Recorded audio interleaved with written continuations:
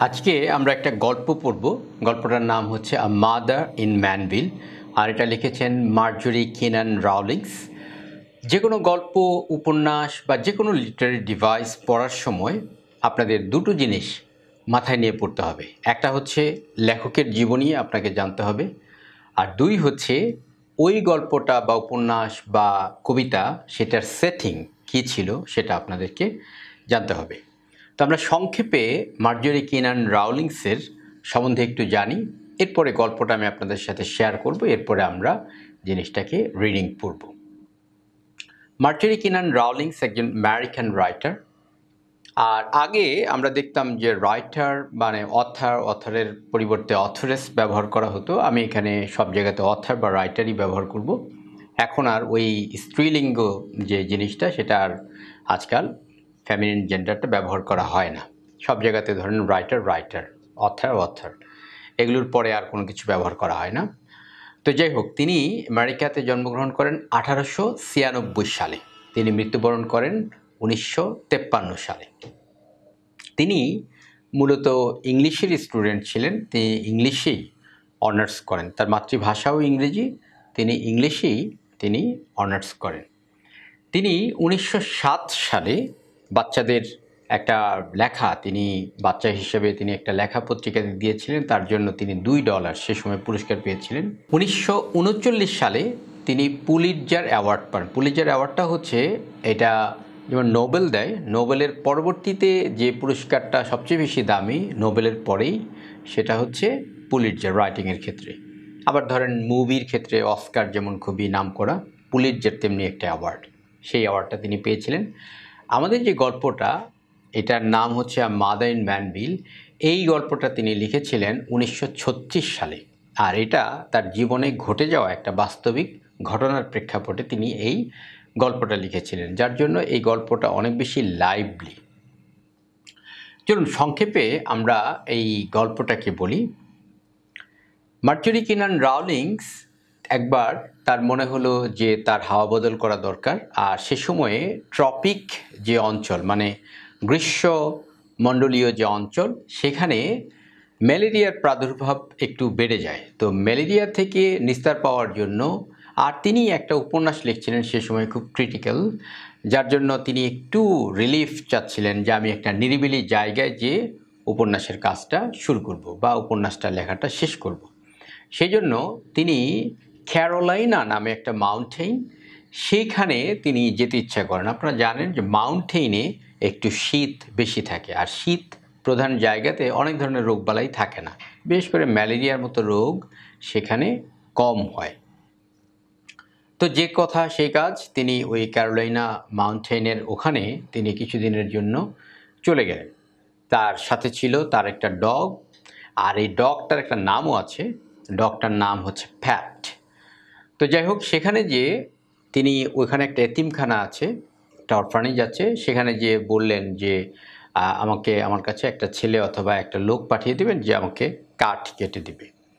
তো জেরি নামে একটা ছেলে তার ওখানে কাঠ কাটতে যায় কয়েকদিন পরে। তো জেরির বয়স হচ্ছে বারো বছর বাট সে একটু আন্ডার সাইজ মানে একটু দেখতে ছোটোখাটো। তো রাইটার দেখে অবাক হন। রাইটার বলেন যে, আমার কাছে তো একটা ছেলে আসার কথা। তো জেরি বলে, আমিই সেই ছেলে। বলে, তুমি তুমি তো অনেক ছোট, তুমি কি করে কাঠ কাটবে?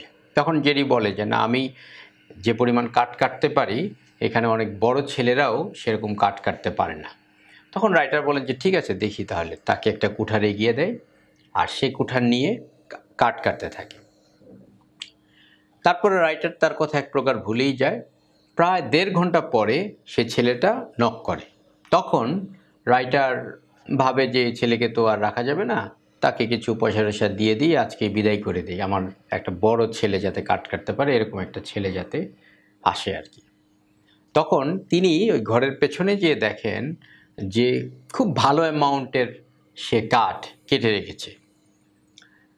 তখন রাইটার তার সিদ্ধান্ত পাল্টান এবং এই প্রথমবারের মতো তিনি ওই বাচ্চা ছেলেটার দিকে তাকান আসলে অ্যাকচুয়ালি ভালো করে দেখেন যে কে আসলে। তখন তিনি বললেন যে, ঠিক আছে, তাহলে তুমি আগামীকাল এসো। এভাবে করে জেরি কাট কাটতে আসে রাইটারের সাথে, তার একটু আন্ডারস্ট্যান্ডিং ভালো হয় এবং রাইটার একবার সিটিতে যান, তখন তার এই ডগটা জেরির কাছে রেখে যান। জেরি তার খুব ভালো যত্ন করে।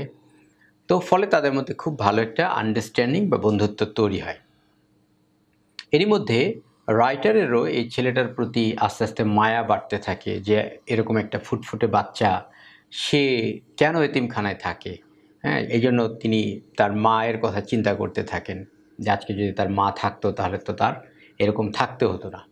অপরদিকে, জেরিরও মায়ের যে একটা অপূর্ণতা, মায়ের যে একটা অভাব, তার মধ্যে আস্তে আস্তে এই ফিলটা গ্রো করতে থাকে। মা থাকলে আসলে কেমন হয়? মা থাকলে কি এই রাইটারের মতোই তাকে কাছে ডেকে বসাতো? রাইটারের মতোই কি তাকে অ্যাপেল বা ক্যান্ডি দিত? এরকম তিনি মানে জেরি ভাবতে থাকে। তো ফলে দুজনের ভাবনার জায়গাটা যখন এক হয়, জেরি একদিন হঠাৎ করে বলে যে, আপনাকে আমি একটা গল্প বলতে চাই। ঠিক আছে, বলো। তো তখন সে বলে, তার মায়ের গল্প বলে যে, আমার মা ম্যানবিলে থাকে হ্যাঁ আমার মায়ের গ্লাভস আপনার হাতের থেকে বড় হ্যাঁ ইত্যাদি, তাকে হোয়াইট গ্লাভসে কেমন লাগবে? এটা শোনার পরে রাইটারের প্রাথমিকভাবে একটা খারাপ লাগা তৈরি হয়, একটা শকড হন তিনি যে তার মা আছে আসলে। তো যাই হোক, পরবর্তীতে রাইটার এক প্রকার রিলিফ পান যে ঠিক আছে, তার মা আছে তাহলে আর তাকে নিয়ে আমার আর এত বেশি চিন্তাভাবনা করার কিছু নাই। তারপরে রাইটারের সময় হয় তিনি চলে যাবেন। চলে যাওয়ার সময় রাইটার যে ক্লার্ক থাকে, সেই ক্লার্ক মানে চলে যাওয়ার আগের দিন জেরিকে বলে যে, জেরি, তুমি আমার খুব ভালো বন্ধু ছিলে, আমি আগামীকালকে চলে যাচ্ছি। তো জেরি ওই পাহাড়ের দিকে চলে যায়, জেরি আর তার সাথে দেখা করতে আসে না পরের দিন। তখন ওই যে ক্লার্ক থাকে, সেই ক্লার্ককে বা যে এক্সিকিউটিভ থাকে, তার নাম থাকে আবার মিসেস ক্লার্ক। ওই ভদ্রমহিলাকে তিনি কিছু রাইটার কিছু টাকা দিয়ে যান, বলেন যে জেরিকে আপনারা যেটা জেরির নাই সেরকম একটা জিনিস ক্রিসমাস ডেতে অথবা তার জন্মদিনে আপনারা তাকে কিনে দিবেন। আমি যদি ওখান থেকে পাঠিয়ে দিই, হয়তো এমন হতে পারে যে যেটা তার আছে, সেটাই আমি কিনে দিলাম। যেমন তার স্কেটস আছে মানে স্কেটস বোর্ড যেটা দিয়ে ওই বাচ্চারা খেলে, নিচে, জোতার নিচে চাকা লাগানো থাকে আর ওইটা দিয়ে খেলে। তো জেরির তো এটা আছে, তখন ভদ্রমহিলা এমন একটা মানে অবাক হন যে তিনি কি বলছেন?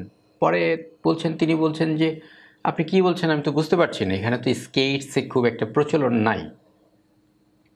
তখন রাইটার বলেন যে, আরে, ওর মা যে ওকে স্কেট বোর্ড পাঠিয়েছে হ্যাঁ আমি যদি আবার আরেকটা কিনে দিই, তাহলে ডাবল হয়ে গেল না? এর থেকে বরং ওর যেটা লাগবে, সেটা আপনারা কিনে দিলেন। তখন সে মহিলা বলে যে, ওর তো কোনো মা নাই, আর এখানে স্কেট বোর্ডের ওরকম কোনো প্রচলনও নাই, আর জেরির কোনো স্কেট বোর্ডও নাই। তখন রাইটার আসলে বুঝতে পারেন, জেরির আসলে মা নেই। এরপরে তিনি ওখান থেকে চলে যান। গল্পটা এখানেই শেষ হয়ে যায়।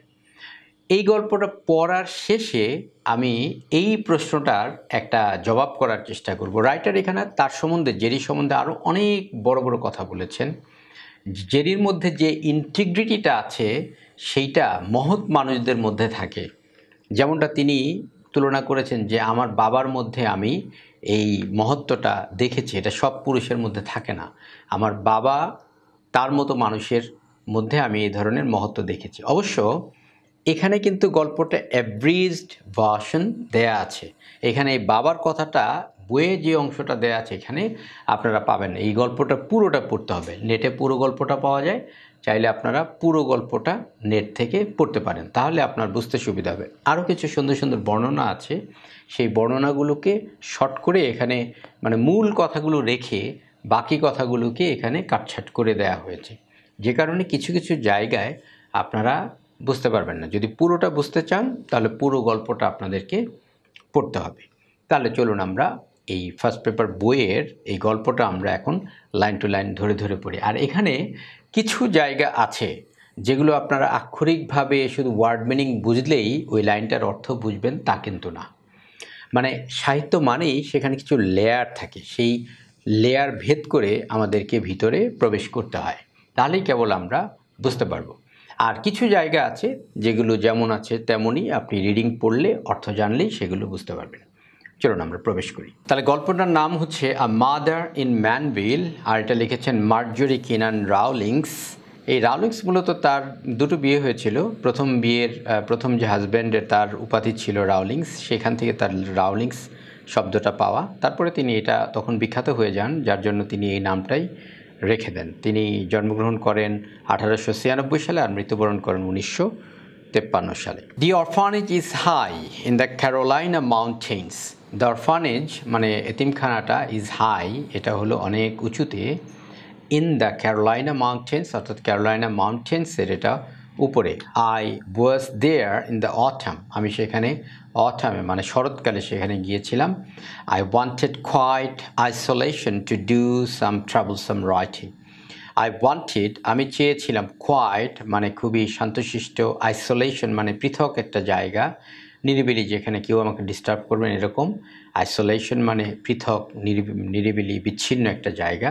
To do some travelsome writing কিছু ট্রাভেলসাম মানে ডিফিকাল্ট ট্রাভেলসাম মানে কঠিন ট্রাভেলসাম রাইটিং লেখার জন্য সেখানে আমি একটা কোয়াইট শান্ত এবং একটা বিচ্ছিন্ন জায়গা চেয়েছিলাম।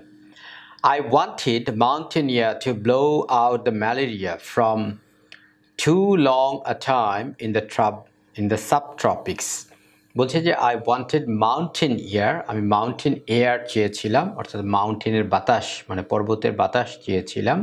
মানে আমি হাওয়া বদল করতে চেয়েছিলাম আর কি। To blow out the malaria blow out মানে ব্লো মানে তো প্রবাহ আউট মানে তো বাইর করা মানে বের করে দেয়া। তাহলে এখানে ব্লো আউট মানে কি? ব্লো আউট মানে হলো একসাথে যে ম্যালেরিয়া থেকে বাঁচা ম্যালেরিয়া রোগ থেকে মুক্তি লাভ করা মানে হয়ে যাওয়ার আগেই প্রতিরোধ করা। তাহলে ম্যালেরিয়া থেকে বাঁচার জন্য বা ম্যালেরিয়াকে ব্লো আউট করার জন্য, তাড়িয়ে দেওয়ার জন্য বা প্রতিরোধ করার জন্য from too long a time যেটা অনেক দিন যাবৎ আছে in the subtropics tropic মানে গ্রীষ্ম অঞ্চলীয় মণ্ডল আর সাব মানে খানিকটা। মানে খানিকটা, ধরা যাক, শীত শীতের দিকে। একদম পুরোপুরি ট্রপিক বা ট্রপিক্যাল এরিয়া না সাব ট্রপিক মানে ওই কাছাকাছি আর কি। ট্রপিক আর সাব ট্রপিকের মধ্যে খুব বেশি ব্যবধান নাই। বিষয়টা এরকম না যে ট্রপিক হলো একদম প্রান্তিক লেভেল আর মাঝখানে ধরা যাক এখানে হলো শীত আর মাঝখানে হলো সাবট্রপিক বিষয়টা এরকম না। সাবট্রপিক মানে ট্রপিকের কাছাকাছি, ট্রপিক থেকে সামান্য একটু ভিতর দিকে। তার মানে এটাকেও আমরা গরমের জায়গায় ধরতে পারি। তো গরমের জায়গাতে ম্যালেরিয়া ছড়িয়ে পড়েছিল, সেটা থেকে বাঁচার জন্য তিনি মাউন্টেন এয়ার চেয়েছিলেন। ওয়াজ হোম সিক টু আমি হোম সিকও ছিলাম। হোম সিক মানে হলো গৃহের প্রতি টান। অর্থাৎ যারা দেশ থেকে যে বাইরে থাকে, বিদেশে থাকে, তাদের কিন্তু দেশের প্রতি টান অনেক বেশি হয়। তাহলে I was homesick too আমি হোম সিকও ছিলাম for the flaming of maples in October and for corn shocks and pumpkins and black walnut walnut trees তো বলেছে যে আমি হোম সিকও ছিলাম বটে। মানে আমার মানে এই ঘটনাটা ঘটছে কিন্তু ফ্লোরিডাতে। অর্থাৎ এই ক্যারোলাইনা মাউন্টেন্স বা এই জেরির যে অরফানেজটা এটা কিন্তু আপনার ফ্লোরিডাতে। আর রাইটার, তিনি কিন্তু ফ্লোরিডাতেই বসবাস করতেন, বাট তিনি নিউ ইয়র্কেও ছিলেন। এখন তিনি ফ্লোরিডার কথা বলছেন যে ফ্লোরিডার যে আবহাওয়াটা, এই আবহাওয়াটা বা এই সময়ে ওখানে কেমন থাকে, এগুলোর কথা তার এখন মনে পড়ছে। For the flaming of maples in October এই লাইনটা খুবই চমৎকার। ফ্লেমিংস অব ম্যাপলস বলতে আসলে কি বোঝায়? আমরা যদি বাংলায় এরকম একটা উপমা দিতাম, তাহলে আমরা বলতাম হয়তো কৃষ্ণচূড়ার লালে চারদিকে মানে রঙিন হয়ে উঠেছে। অর্থাৎ কৃষ্ণচূড়ার আগুন লেগেছে। বাংলায় যদি আমরা বলতাম, তাহলে এরকম বলতাম। আর ম্যাপলস যে লিফগুলো, ম্যাপলস লিফগুলো কিন্তু ওই খানিকটা রঙিন হয়। কৃষ্ণচূড়ার মতো এত লাল হয় না, বাট গাঢ় হলুদ কালার বা এরকম একটু কালার হয়। তো সেটাই বলছে যে ম্যাপলস ফ্লেমিং অফ ম্যাপলস মানে ফ্লেম মানে তো আগুন। আর ম্যাপল মানে হচ্ছে ম্যাপলের যেই পাতা সেইটা। তাহলে ফ্লেমিং অব ম্যাপলস বলতে এখানে বোঝানো হচ্ছে, বাংলায় আমরা বললে যেমন বলতাম, কৃষ্ণচূড়ার আগুন লেগেছে, ওই রকম একটা উপমা তিনি এখানে দিচ্ছেন। তাহলে flaming of maples in October মানে অক্টোবর মাসে এই ম্যাপলসের মানে ম্যাপল পাতার একটা কি হয়? ফ্লেমিং থাকে মানে আগুন লেগে যায় মানে অনেক সুন্দর লাগে আর কি। And for corn shocks corn মানে শস্য, আর সক্স মানে হলো শস্য কেটে ফেলার পরে ভুট্টা বা এই জাতীয় ওই যে আপনার ডাট যেগুলো থাকে বা ধানের আটি, ওরকম এই এটা হলো সক্স অ্যান্ড পাম্পকিন্স মানে মিষ্টি কুমড়া and black walnut trees black walnut trees আমাদের দেশে খুব একটা হয় না বাট ওদের দেশে এগুলো খুব অ্যাভেলেবল তো সেইগুলোর কথা বলছি। এরপরে অ্যালিপসিস মানে হলো থ্রি ডটস মানে হলো অ্যালিপসিস অ্যালিপসিস মানে হলো এখানে আরও কথা ছিল, সেগুলো আর এখানে দেয়া হয়নি। অর্থাৎ মূল টেক্সটে আরও কথা ছিল। কিন্তু আমাদের যে ইন্টারমিডিয়েটের প্যাসেজ নির্ধারণ করা হয়েছে, সেখানে এটা দেয়া হয়নি। I found them all living in a cabin এখানে আবার প্রসঙ্গ চেঞ্জ হয়ে গেলো। এখানে জেরিদের কথা চলে আসছে হ্যাঁ? এখানে তার ওই যে ফ্লোরিডাতে যেতে চান কেন তিনি, সেই কথাগুলো বলা শেষ। এখন তিনি বলছেন I found them all living in a cabin that belong to the orphanage যে আমি তাদেরকে দেখলাম লিভিং ইন আ কেবিন তারা কেবিনে বসবাস করে that belong to the orphanage যেটা হলো অরফানেজ বিলং করে। বিলং করা মানে অধিকার মানে তাদের অধিকারে থাকে। মানে অরফানেজের মালিকানাধীন হলো এই কেবিনগুলো, যেখানে যে পর্যটকরা হলো বসবাস করে। Half a mile beyond the orphanage farm অর্থাৎ অরফানেজ ফার্ম থেকে এগুলো হচ্ছে হাফ মাইল দূরে। অর্থাৎ এই কেবিনগুলো মানে হোটেলগুলো যেখানে যে রাইটার উঠবেন বা উঠেছেন, সেটা হলো, এটার মালিকানাধীন হলো কাদের? অরফানেজের মানে এতিমখানার আর এতিমখানাটা হলো এই কেবিনগুলো থেকে বা হোটেলগুলো থেকে প্রায় অর্ধেক মাইল মানে হাফ মাইল দূরে। Okay when I took the cabin যখন আমি কেবিনটা নিয়েছিলাম I us for boy or man to come and chop wood for the fireplace বলছেন যে আমি যখন এই কেবিনটা নিয়েছিলাম মানে হোটেলটা যখন ভাড়া নিয়েছিলাম আই আস ফর আ বয় তখন আমি তাদেরকে বলেছিলাম আস ফর মানে এখানে বলা আর কি, এখানে জিজ্ঞেস করা না, বলা। আই আস ফর আ বয় মানে চেয়েছিলাম আই ওয়ান্টেড আমি চেয়েছিলাম, বা আমি একটা রিকোয়ারমেন্ট দিয়েছিলাম ফর আ বয় একটা ছেলের জন্য ওর ম্যান অথবা একটা মানুষের জন্য টু খাম আসতেন চপ উড চপ মানে কাটা উড কাঠ কাটার জন্য ফর দ্য ফায়ার প্লেস অর্থাৎ ফায়ার প্লেসের জন্য কাঠ কাটার জন্য আমি একজন লোককে আসতে বলেছিলাম। আর ফায়ার প্লেস মানে হলো যখন প্রচণ্ড শীত পড়ে, তখন তারা ঘরের মধ্যে এক ধরনের চুলা তৈরি করে, যেটা হলো ঘরটাকে গরম রাখে। আর ওটার ধোঁয়াটা ওই চুল্লি দিয়ে সেটা চালের উপর দিয়ে বা বিল্ডিংয়ের উপর দিয়ে চলে যায়। তো এটা হলো ফায়ার প্লেস এরপরে আবার এলিপসিস দেওয়া হয়েছে, তার মানে এখানে আরও কথা ছিল যেটা এখানে বলা হয় নাই। মূল টেক্সটে আছে, কিন্তু এটা সংক্ষেপ করার কারণে এরপরে আর ওই কথাগুলো আনা হয়নি। I looked up from my typewriter one late afternoon বলছে যে আই লুকড আপ মানে আমি তাকিয়েছিলাম ফ্রম মাই টাইপ টাইপরাইটার মানে রাইটার তো টাইপরাইটারে লিখছিলেন, সেখান থেকে তিনি তার উঠলেন বা সেখান থেকে তিনি তাকালেন আর কি ওয়ান লেট আফটারনুন লেট মানে হলো আফটারনুনটা বিকেলটা এখন পরন্ত বিকেল হয়ে গেছে মানে একটু পরে সন্ধ্যা হয়ে যাবে এরকম। তাহলে one late afternoon a little startled startled মানে সারপ্রাইজ মানে অবাক হয়েছিলাম, একটুখানি বিস্মিত হয়েছিলাম, যে কে আসলো? A boy stood at the door মানে দরজাতে একটা ছেলে দাঁড়িয়েছিল and my pointed dog My companion was at his side and had not barked to warn me.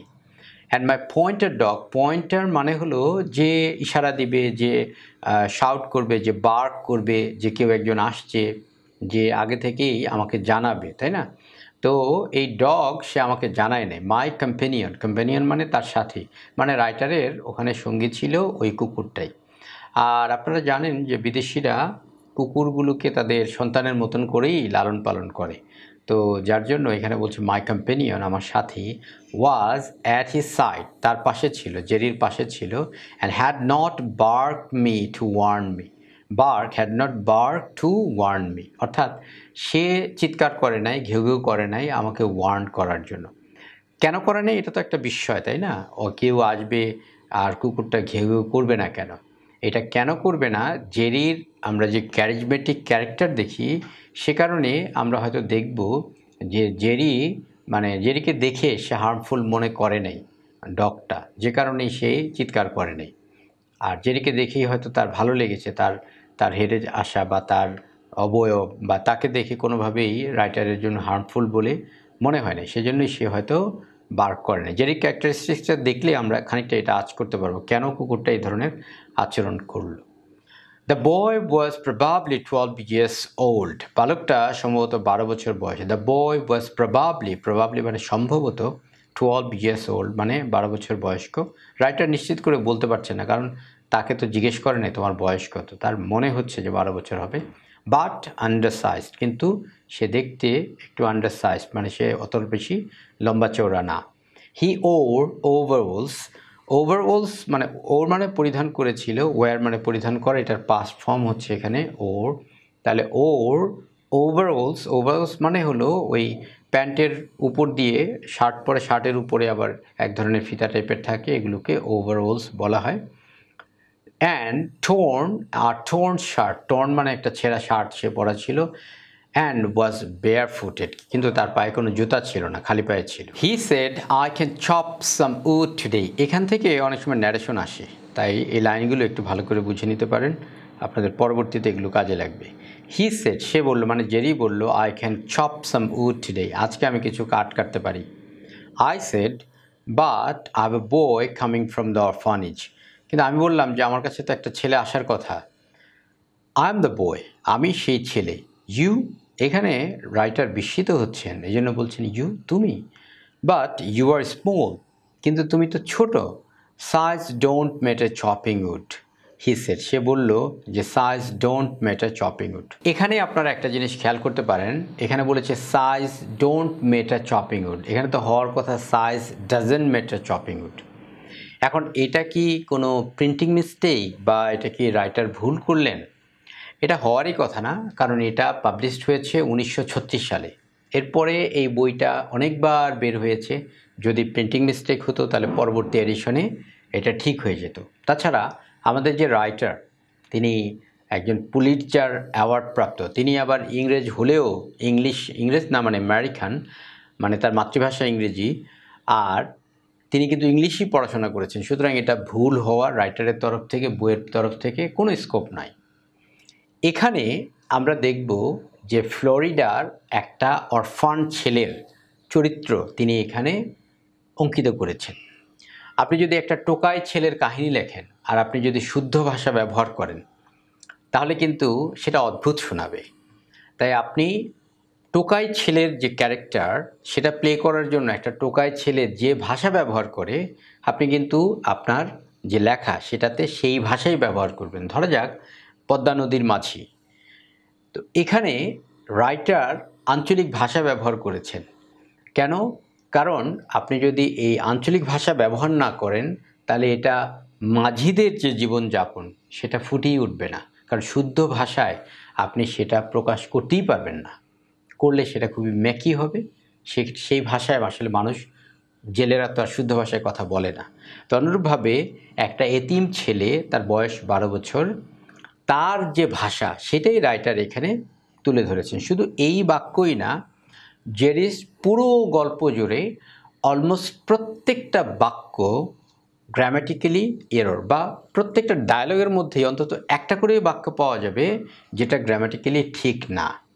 তো এগুলো কেন ব্যবহার করা হয়েছে? এগুলোই মূলত এই গল্পটার সৌন্দর্যটাকে বাড়িয়ে দিয়েছে। যে জেরির যে ক্যারেক্টারটা যেমন হওয়া দরকার রাইটার সেভাবে করেই তিনি এখানে তুলে ধরেছেন। আরেকটা জিনিস হচ্ছে, মার্জরি কিনান রাউলিংস তিনি কিন্তু রুরাল সেটিংয়ের উপরেই তার বেশি কাজ করেছেন। কিন্তু তার থিমটা হচ্ছে ইউনিভার্সাল। তিনি কাজগুলো করেছেন রুরাল।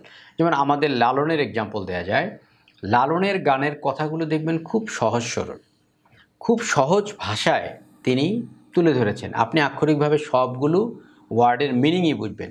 কিন্তু এর দ্বারা তিনি যেটা বুঝাচ্ছেন, সেটা হচ্ছে ইউনিভার্সাল তেমনি মার্জরি কিনান রাউলিংস যদিও রুরাল সেটিংয়ে লিখেছেন, অর্থাৎ গ্রামীণ, গ্রাম্য একটা পরিবেশের সেটিংয়ে লিখেছেন, কিন্তু তার সাবজেক্ট ম্যাটার তার থিমগুলো কিন্তু ইউনিভার্সাল তো এই কারণেই জেরির এখানে আমরা গ্রামাটিক্যাল মিস্টেক পাচ্ছি। অন্যান্য অনেক জায়গায় জেরির কথায় গ্রামাটিক্যাল মিস্টেক পাবো সামনে। তাহলে জেরি এখানে বলছে size don't matter chopping wood এটা হওয়ার কথা ছিল size doesn't matter chopping wood he said সে বলল some the big boys don't chop wood এটাও দেখুন সাম দ্য বিগ বয়েজ এখানে হওয়ার কথা ছিল খান্ট চপ ওয়েল অর্থাৎ এই গুড হবে না, এখানে ওয়েল হওয়ার কথা ছিল। আর some of the big boys তারা কাটে না, তা নয়, তারা কাটতে পারে না মানে জেরির মতো তারা কাটতে পারে না, এটাই সে বুঝাতে চেয়েছে।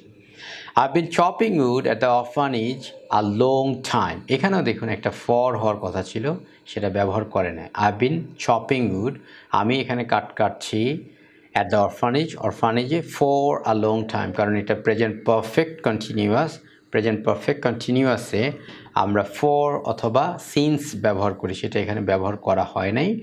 জাস্ট এটা জেরির যে ডায়ালগ সেটাকে ফুটিয়ে তোলার জন্য। Very well there's the axe axe বানানটাও খেয়াল করুন, আমরা এখন লিখি এই এক্স ই বাট এটাও আরেকটা ভার্জন অর্থাৎ এটা দিয়েও সেই একই এক্স বোঝানো হয় বাট বানানটা একটু ডিফারেন্ট তাহলে খুব ভালো মানে এখানে রাইটারের আর কিছু কথা ছিল আর কি। তো রাইটার এখানে তার কথায় একটুখানি মানে বিরক্ত মানে ছোট মানুষ কিন্তু কথা বলছে খুবই স্পষ্ট করে। তো তিনি বলছেন যে আচ্ছা ঠিক আছে, বুঝতে পারলাম, দেখি তুমি কি করো। তাহলে ভ্যারি ওয়েল খুব ভালো দেয়ার্স দ্য এক্স এই হচ্ছে axe go head and see what you can do যে দেখি তুমি কি করতে পারো। I went back to work closing the door দরজাটা বন্ধ করে তখন আমি আমার কাজে চলে গেলাম। এরপর আরও কথা ছিল, সেগুলো আর এখানে বলা হয় না। হি বিগেন টু চপ তারপরে সে কাট কাটতে শুরু করল। The blows were rhythmic and steady and shortly I had forgotten him the sound no more of an interruption than a consistent rain writer এখানে বলছেন যে তার যে কাজ করার যে ধরনটা মানে এখানে ব্লো মানে হলো প্রবাহ। তো এখানে প্রবাহ বলতে বোঝানো হচ্ছে যে সে একের পর এক যে কুঠার দিয়ে কোপ দিচ্ছে সেটাকে ওয়ার রিদমিক সেটা ছিল রিদমিক মানে ছন্দময় অ্যান্ড স্টিডি স্টিডি মানে হলো মজবুত, সেটা একই রকমভাবে হচ্ছিল অ্যান্ড শর্টলি এবং খুব দ্রুতই I had forgotten him এবং আমি তাকে ভুলে গিয়েছিলাম। The sound no more of an interruption interruption মানে রাইটার যেহেতু টাইপরাইটারে কাজ করছিলেন সেটা তার কাছে আর কোনো ডিস্টার্ব মনে হচ্ছিল না। Rather than a consistent rain খুবই সুন্দর একটা উপমা দেখুন।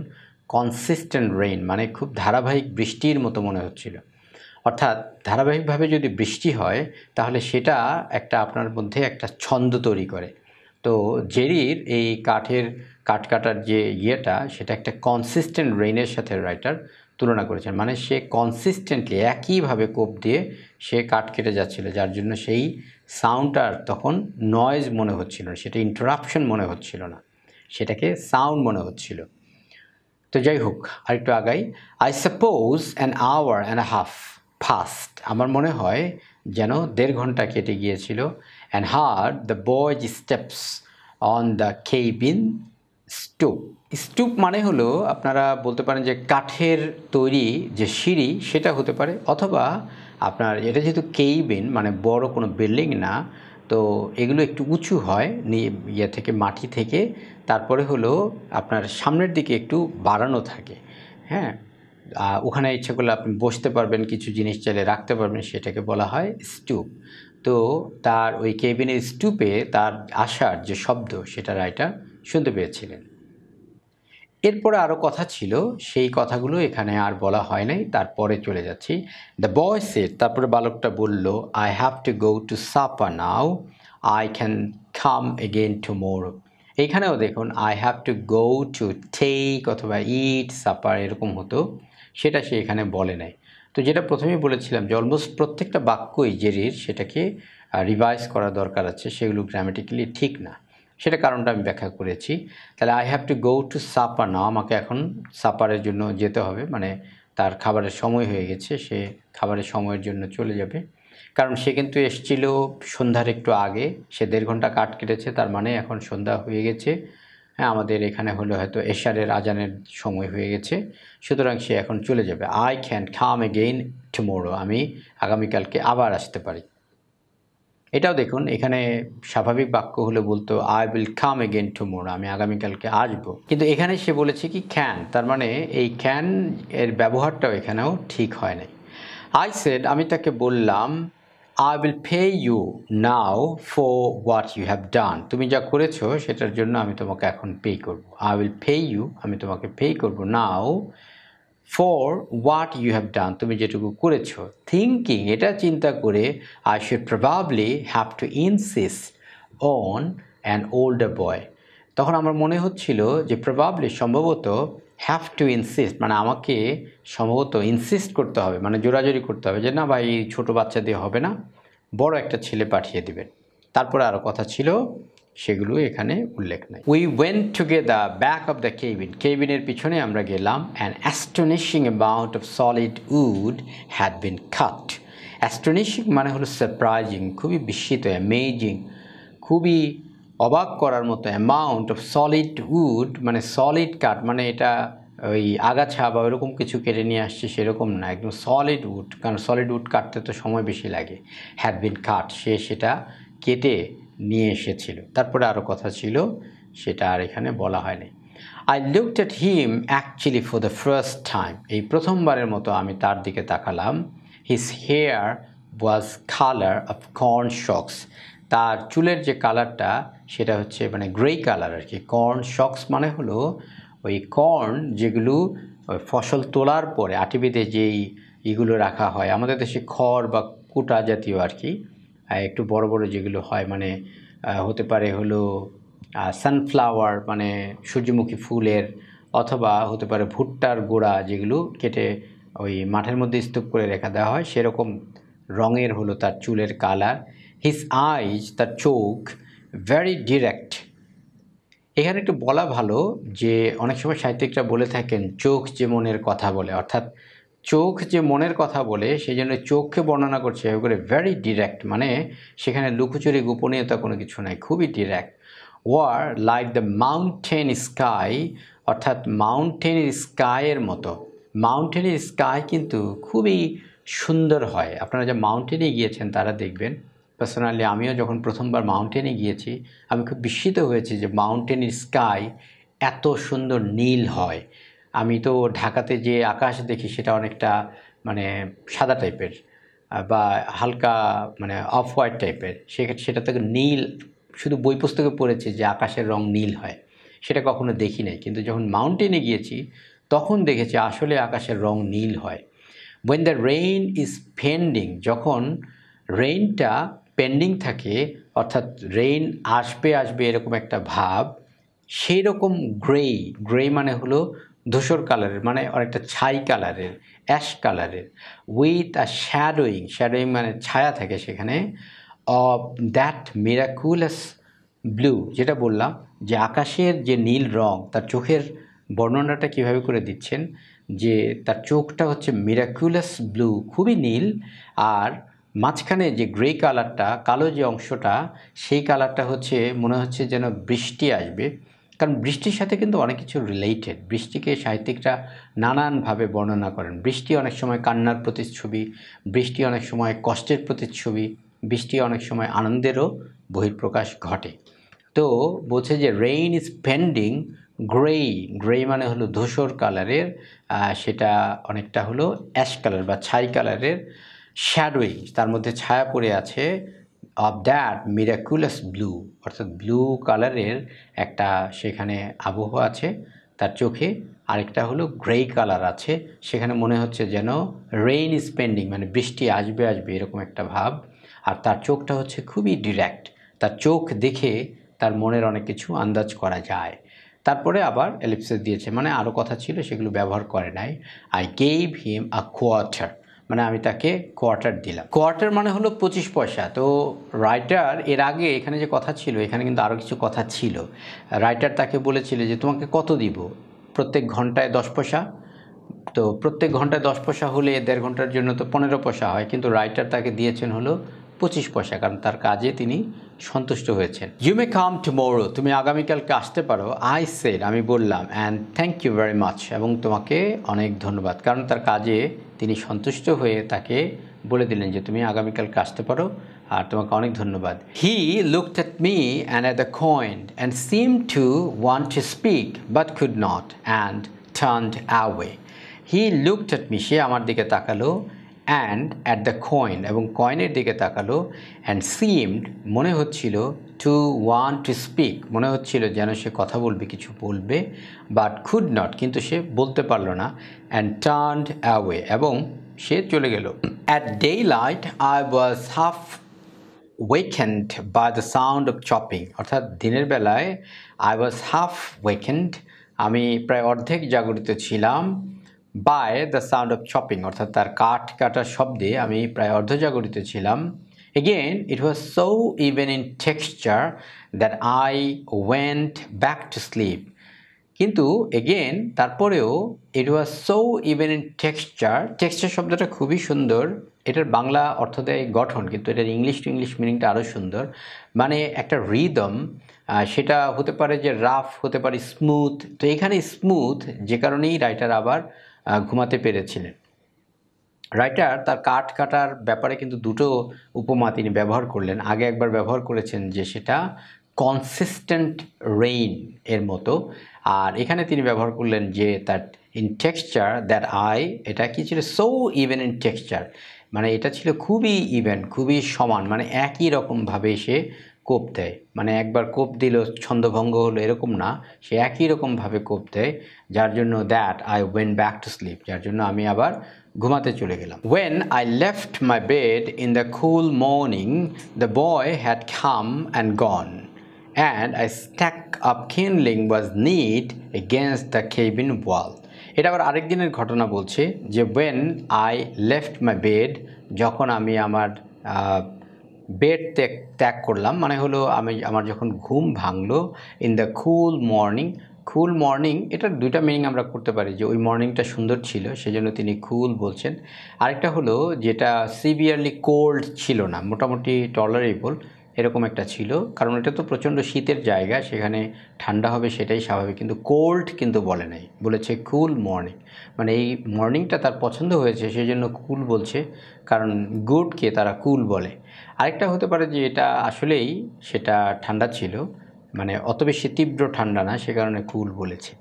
The boy had come and gone মানে ছেলেটা এর মধ্যে এসেছে, আবার চলে গিয়েছে। অ্যান্ড আই স্ট্যাক স্ট্যাক মানে হলো স্তূপ পাইল বা ডাম্প তাহলে একটা পাইল বা স্তূপ অফ কিনলিং কিনলিং মানে আমরা এখানে লাকড়ি বুঝতে পারি। কিনলিং মানে হলো ছোট ছোট কাঠের টুকরা। অর্থাৎ কাঠের টুকরা বলতে ডালাপালা ইত্যাদি আর কি। যেগুলোকে জ্বালানি হিসেবে ব্যবহার করা হয়।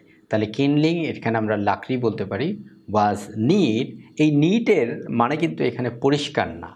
এই নিটের মানে হলো সিস্টেমেটিকে সিস্টেমেটিক্যালি অ্যারেঞ্জড মানে এটাকে সিস্টেমেটিক্যালি সে সাজিয়ে রেখে গিয়েছিল মানে খুব সুন্দরভাবে সে সাজিয়ে রেখে গিয়েছিল। একই শব্দের মিনিং বিভিন্ন জায়গায় বিভিন্ন রকম হতে পারে। তো এইখানে নিট মানে কিন্তু পরিচ্ছন্ন নয়। এখানে হলো খুব সিস্টেমেটিক্যালি অ্যারেঞ্জড করা মানে খুব সুন্দরভাবে সজ্জিত করা। এগেনস্ট দ্য কেবিন ওয়াল অর্থাৎ কেবিনের ওয়ালের পাশে সে এটাকে কাঠগুলোকে দাঁড় করিয়ে রেখে গিয়েছিল।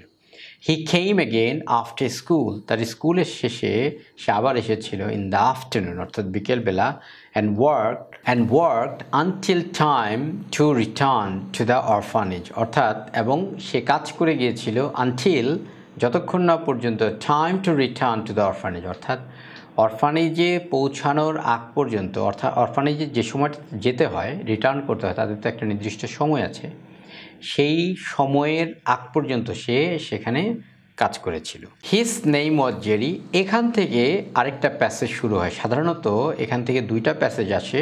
তো প্রথম পার্ট যেটুকু আমরা আগে পড়লাম, সেইটুকু আসে, অথবা এখান থেকে আসে। তবে এখান থেকে বেশি আসে, কারণ এখানে মূল কথাগুলো এখানে বেশি আছে। আর আগের যেটা আছে, সেখানে বেশি বেশি বর্ণনা আছে এতিমখানাটা বা ওই জায়গাগুলোর, কিন্তু মূল রিলেশনশিপটা বোঝা যাবে বা জেরির কেমন ছিল, জেরির ক্যারেক্টারটা কেমন ছিল, সেই ক্যারেক্টার অ্যানালিসিসটা বোঝা যাবে হলো এখান থেকে। সুতরাং এই প্যাসেজটুকুর এখান থেকে বেশি ইম্পর্টেন্ট পরীক্ষাতে এখানে বেশি আসে। তাহলে এরপরে আরও কিছু কথা ছিল, সেগুলো আর এখানে বলা হয় নাই। Had been at the orphanage since he was four তার মানে জেরি এই অরফানেজে হ্যাড বিন সে এখানে ছিল সিন্স হি ওয়াজ ফোর মানে তার বয়স যখন চার, তখন থেকে সে এই অরফানেজে বসবাস করে। I could picture him at four মানে আই কুড পিকচার হিম এই পিকচার শব্দটা এখানে বার হিসেবে ব্যবহৃত হয়েছে, এর মানে হলো সে চার বছর বয়সে কেমন ছিল, তার বয়স এখন বারো বছর। বাচ্চাদের কিন্তু ওই বয়সটাতে খুব দ্রুতই তাদের শারীরিক গঠন, চেহারা, অবয়ব ইত্যাদি পাল্টে যায়। আর চরিত্র তো বটেই, কারণ চার বছর বাচ্চা তেমন কিছুই বোঝে না। বারো বছরে সে অনেক কিছুই বোঝে। তাহলে I could picture him at four আমি তাকে চার বছর বয়সে সে কেমন ছিল সেটাকে আমি পিকচার করতে পারি। মানে আমি সেই প্রতিচ্ছবিটা আমি দেখতে পাই with the same grave grey blue eyes অর্থাৎ সেম একই রকম। গ্রেভ গ্রেভের একটা মানে হচ্ছে কবর, আবার গ্রেভের একটা মানে হচ্ছে গম্ভীর। মানে কবরের কাছে গেলে তো আমরা সবাই গম্ভীর হয়ে যাই, তাই না? তো এই গ্রেভ মানে এখানে হচ্ছে গম্ভীর বা গভীর গ্রে বা ভীষণ আর কি, আর গ্রে মানে হচ্ছে ধূসর, ব্লু ব্লু মানে নীল, এই নীলটা কেমন সেটাও বলেছে আগে, আর এই গ্রেটা কেমন সেটাও বলেছে আইস তার মানে তার চোখের বর্ণনাটা তো আগেই একবার আসছে, তাহলে same grave grey blue eyes সংক্ষেপে বললে তার যে গভীর বা গম্ভীর, একটা যে গ্রে ব্লু আইস তার আছে অ্যান্ড দ্য সেম ইন্ডিপেন্ডেন্স এবং এখন যে সে যেমন সে স্বাধীন চেতা, তখনও সে ওই চার বছর বয়সেও ঠিক তেমনি স্বাধীন চেতাই ছিল। এখন এখানে আবার রাইটার একটা প্রশ্নবোধক চিহ্ন দিয়েছেন। তাহলে রাইটার বলছেন যে, আমি তাকে চার বছর বয়সে কেমন ছিল সেটা আমি পিকচার করতে পারি। সে তার চোখগুলো সেই একই রকম ছিল। সে একই রকমেরই ইন্ডিপেন্ডেন্স সে বহন করে। এটা বলার পর আবার প্রশ্নবোধক চিহ্ন দিল কেন? প্রশ্নবোধক চিহ্ন দিল এই কারণে যেটা প্রবাবলি এটা রাইটারের গেস রাইটার তো আর তাকে চার বছর বয়স থেকে চেনে না। তাহলে রাইটার কি করে বলবে যে সে এই রকমভাবেই ছিল আর সেটা আমাদের কাছে বিশ্বাসযোগ্য কী করে হবে? হ্যাঁ এই জন্য তিনি এখানে আবার প্রশ্নবোধক চিহ্ন দিয়েছেন যে সে সম্ভবত এরকমই ছিল, এরকমই ইন্ডিপেন্ডেন্ট ছিল, এরকমই তার গ্রে ব্লু আইস তার এরকমই ছিল। সেজন্য প্রশ্নবোধক চিহ্ন দিয়ে এখানে আমাদেরকে একটু চিন্তা করার বিষয়ে তিনি দিচ্ছেন আর কি, যে এটাই কনফার্ম ধরে নিতে হবে, বিষয়টা তা না। Now the word that comes to me is integrity তিনি এটুকু বলেই তিনি সন্তুষ্ট হতে পারছেন না যে সে খুবই স্বাধীনচেতা ছিল তার চোখগুলো গ্রে ব্লু আইস ছিল। এগুলো বলেই তিনি সন্তুষ্ট হতে পারছেন না। তিনি আরও বলতে চাচ্ছেন, তিনি আরও তাকে প্রশংসা করতে চাচ্ছেন। তিনি বলছেন no the word that comes to me is integrity না, আমার কাছে যে শব্দটা আসলে তার সম্বন্ধে আসে সেটা হলো ইন্টিগ্রিটি ইন্টিগ্রিটি মানে হলো সাধুতা। সাধুতা কি? সাধুতা মানে অনেস্টির বা এমন একটা লেভেল যেখানে যে মানুষ খুব পুত পবিত্র হয়ে যায়। মানে কোনো ধরনের খারাপ কোনো কিছু তাকে আর টাচ করতে পারে না। মানে ঋষি বা মনীষী টাইপের হয়ে যাওয়া আর কি। তো তিনি বলছেন যে, আমার কাছে যে ওয়ার্ডটা তার সম্বন্ধে আসে সেটা হলো ইন্টিগ্রিটি ইন্টিগ্রিটি মানে সাধুতা, নিষ্ঠাবান। It is bedded on courage but it is more than brave তিনি বলছেন বেড মানে তো বিছানা।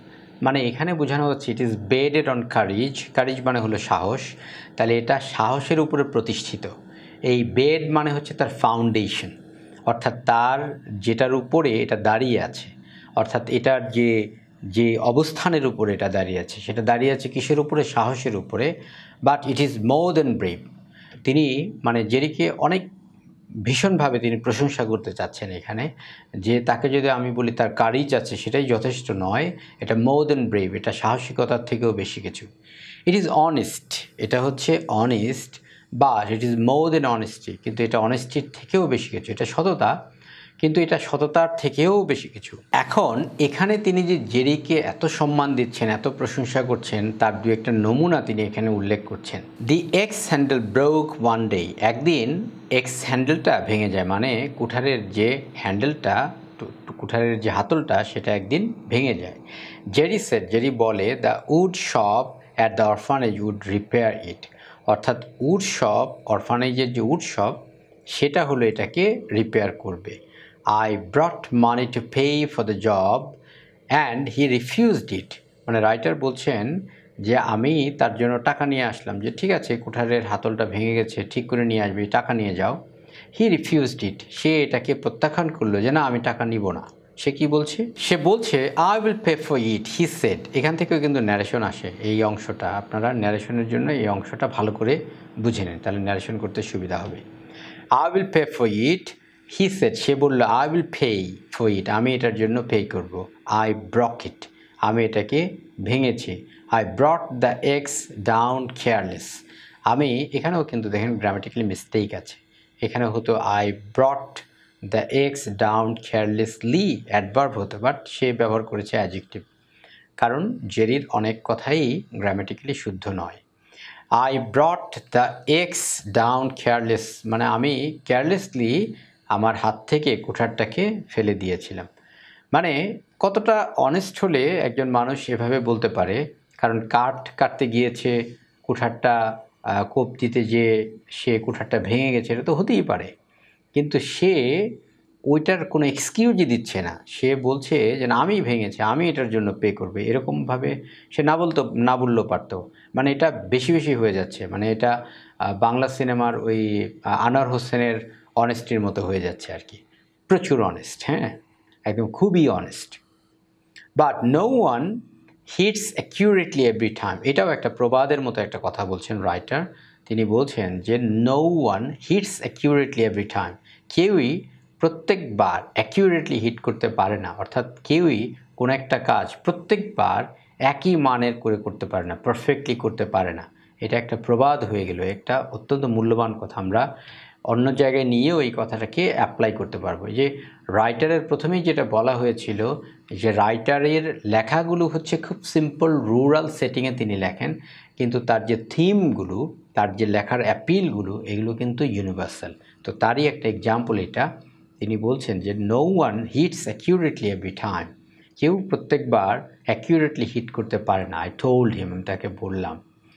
The fault was in the wood of the handle অর্থাৎ ফল্টটা দোষটা ওয়াজ ইন দ্য উড অর্থাৎ কাঠের মধ্যে ছিল অফ দ্য হ্যান্ডেল অর্থাৎ হ্যান্ডেলের যে কাঠ, সেখানে মূলত ফল্টটা ছিল।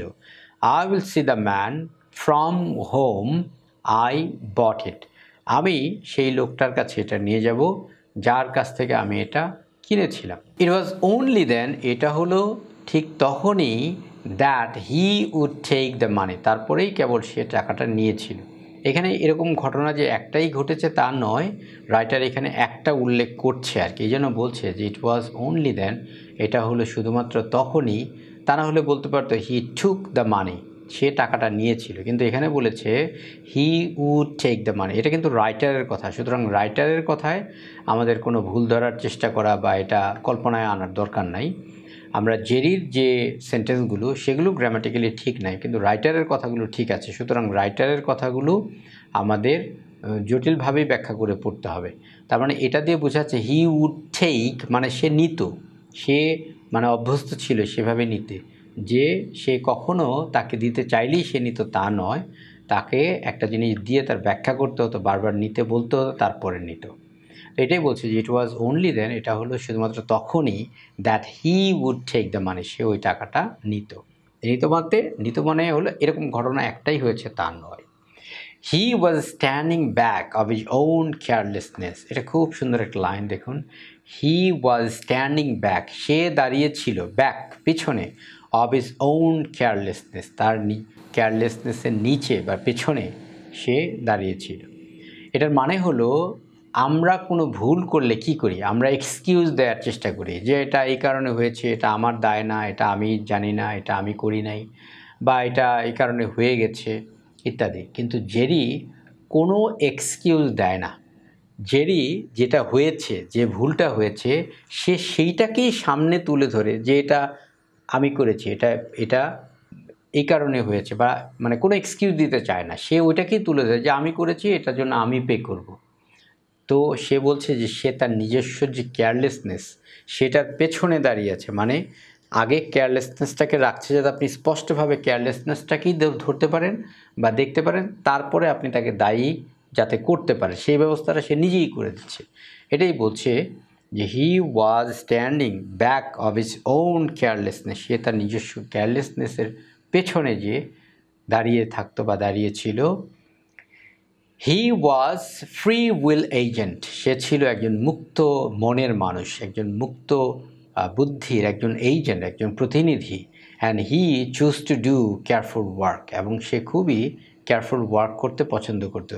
চৌজ মানে হলো চুজ মানে পছন্দ করা চৌজ হচ্ছে পাস্ট টেন্স তাহলে হি চৌজ টু ডু সে করতে পছন্দ করতো কেয়ারফুল ওয়ার্ক মানে খুবই কেয়ারফুল ওয়ার্ক করতে, চিন্তাভাবনাপূর্ণ কাজ করতে পছন্দ করতো। অ্যান্ড ইফ এ ফেইল্ড যদি সে কখনো ব্যর্থ হতো he took the responsibility without subterfuge তাহলে সে যদি কখনো ব্যর্থ হতো, তাহলে সে রেসপন্সিবিলিটিটা নিত উইদাউট সাবটাফিউজ সাবটাফিউজ মানে হলো এক্সকিউজ কোনো অজুহাত। অজুহাত ছাড়াই সে তার দায়িত্বটা নিয়ে নিত। And he did for me the unnecessary thing এবং সে আমার জন্য অনেক আননেসেসারি অদরকারি অনেক কাজ করেছিল। অদরকারি মানে হলো, যেগুলো না করলেও হতো, যেগুলো মানে রাইটারের ক্ষতি হয়েছে তা নয়, যেগুলো প্রত্যেকটা রাইটারের জন্য উপকার হয়েছে, কিন্তু এই কাজগুলো না করলেও পারত। The gracious thing that we find done only by the great of heart এই ধরনের গ্রেশাস থিং গ্রেশাস মানে হলো মহৎ, মহান। এই ধরনের মহান কাজ দ্যাট উই ফাইন্ড যেটা আমরা দেখি ডান করা হয়ে থাকে only by the great of heart যাদের মন অনেক বড়, হৃদয় যাদের অনেক বড়, তারাই কেবল এই ধরনের কাজগুলো, এই ধরনের মহৎ কাজগুলো করে থাকে। এখানে আবার তিনি কিছু এক্সাম্পল দিচ্ছেন। যেমন things no training can teach এই ধরনের কাজগুলো করার জন্য কোনো ট্রেনিং মানুষকে শেখাতে পারে না। কেউ কেউ আছে যে নিজে থেকেই অনেক কাজ করে, কেউ কেউ আছে যে বললেও করে না।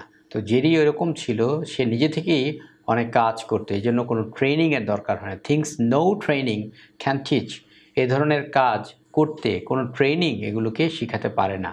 For they are done on the instant এই দেই বলতে কিন্তু ব্যক্তিদেরকে বোঝানো হচ্ছে না। বোঝানো হচ্ছে কাজকে। দেখুন, এখানে সাবজেক্ট হচ্ছে things things no training can teach এখানে দেই আর ডান আবার যদি ব্যক্তি হতো, তাহলে এখানে হতো they do for they do on the instant যদি ব্যক্তি হতো, তাহলে হতো যে তারা সেটা করে ইনস্ট্যান্টলি তাহলে দেই আর ডান মানে হলো এই দেই বলতে ওই কাজগুলো। They are done on the instant মানে ওই কাজগুলোকে করা হয় তৎক্ষণাৎলি উইথ নো প্রেডিকেটেড এক্সপিরিয়েন্স অর্থাৎ প্রেডিকেটেড মানে হলো আগে থেকেই চিন্তা ভাবনা করা, আগে থেকে মানে এক্সপিরিয়েন্স মানে অভিজ্ঞতা। মানে পূর্ব অভিজ্ঞতা কোনো দরকার হয় না আর কি no with no predicated experience অর্থাৎ এই ধরনের কাজগুলো করার জন্য পূর্ব থেকে কোনো এক্সপিরিয়েন্সের দরকার হয় না। এগুলো তারা ইনস্ট্যান্টলি করে। ওই ধরনের মানুষগুলোই আলাদা। যারা ওরকম গ্রেট হার্টের অধিকারী, তারাই কেবল এই মহৎ কাজগুলো করতে পারে। যেমন এখানে এক্সাম্পল দেখি he found a cubby hole inside the fireplace অর্থাৎ ফায়ার প্লেসের মধ্যে সে একটা কাবি হোল দেখতে পেল। কাবি হোল মানে হলো ওই বই রাখা যায় ওরকম আর কি শেলফের মতো। যেখানে সে পরবর্তীতে লাকড়ি টাকড়ি রেখেছিল আর কি। তো কাবি হোল একটা দেখতে পেল that I had not noticed আমি যেখানে, আমি নিজেও সেটাকে লক্ষ্য করি নাই, যেটা সে দেখেছিল। There of his own accord he put kindling and medium wood so that I might always have dry fire material ready in case of sudden wet weather. বলছে যে অফ হিজ ওন অ্যাকর্ড মানে সে নিজে থেকেই করেছে। কেউ তাকে করতে বলে নাই। অফ হিজ ওন অ্যাকর্ড মানে হলো নিজে থেকেই করা। কেউ তাকে করতে বলে নাই। হি ফুড কিনলিং সে কিনলিং সেখানে রেখেছিল। কিনলিং মানে লাকড়ি, সেখানে রেখেছিল। ওই কাবি হোলের মধ্যে সে লাকড়ি রেখেছিল। অ্যান্ড মিডিয়াম উড এবং মিডিয়াম উড মিডিয়াম কাঠ রেখেছিল। কিনলিং রেখেছিল, লাকড়ি রেখেছিল এবং মিডিয়াম টাইপের কাঠও রেখেছিল। সো দ্যাট যাতে করে I might always have dry fire material যাতে করে আমি সব সময় ফায়ার ম্যাটেরিয়াল পাই, অর্থাৎ চুলা জ্বালানোর লাকড়ি যাতে সবসময় পাই রেডি প্রস্তুত in case of sudden wet weather মানে হঠাৎ করে যদি বরফ পড়া বা খুবই ভেজা মানে খুব বৃষ্টি নামা শুরু করে দেয়, তাহলে যাতে আমি ওইখানে ই পাই মানে ড্রাই ম্যাটেরিয়াল পাই মানে শুকনো কাঠ পাই, সেজন্য সে ওই কাবি হলের মধ্যে কাঠ কেটে রেখে দিয়েছিল। A stone was loose in the rough walk to the cabin অর্থাৎ, আরেকটা এক্সাম্পল দিচ্ছে এখানে। আ স্টোন একটা পাথর ওয়াজ লুজ সেটা ছিল আলগা in the rough walk to the cabin অর্থাৎ রাফ ওক মানে যেখানে সাধারণত হাঁটা হয় না সেই রকম একটা জায়গায় টু দ্য কেবিন কেবিনের দিকে সেখানে একটা পাথর ছিল, যেটা ছিল আলগা। He dug a deeper hole সেখানে সে আরও বেশি গর্ত করল অ্যান্ড স্টিডিড ইট এবং এটাকে আরও মজবুত করেছিল। Although he came himself by a shortcut over the bank সে ওই যে হাফ মাইল দূর থেকে আসে, সেখান থেকে সে এসেছিল শর্টকাটে অর্থাৎ যদি ঘুরে আসে, তাহলে তো তার হাফ কিলোমিটার লাগবে। সে শর্টকাটে ওভার দ্য ব্যাঙ্ক ব্যাঙ্ক মানে ওই উপাত্যকার মানে পর্বতে তো অনেক সময় উপাত্যকা হয়। ওই উপাত্যকা মানে পানি যেখানে আটকে থাকে, তার পাশ দিয়ে সে এসেছিল অথচ সে আমার জন্য একটা রাফ ওক যেখানে সাধারণত হাঁটাচলা করা হয় না, সেই রকম জায়গায় একটা পাথর আলগা ছিল, সেইটাকে সে স্টাডি করেছে। অর্থাৎ তার নিজের প্রতি কোনো খেয়াল নাই, সে নিজের প্রতি যত্ন নিচ্ছে না, কিন্তু রাইটারের প্রতি সে প্রচণ্ড যত্নশীল। এটাই বোঝা যাচ্ছে।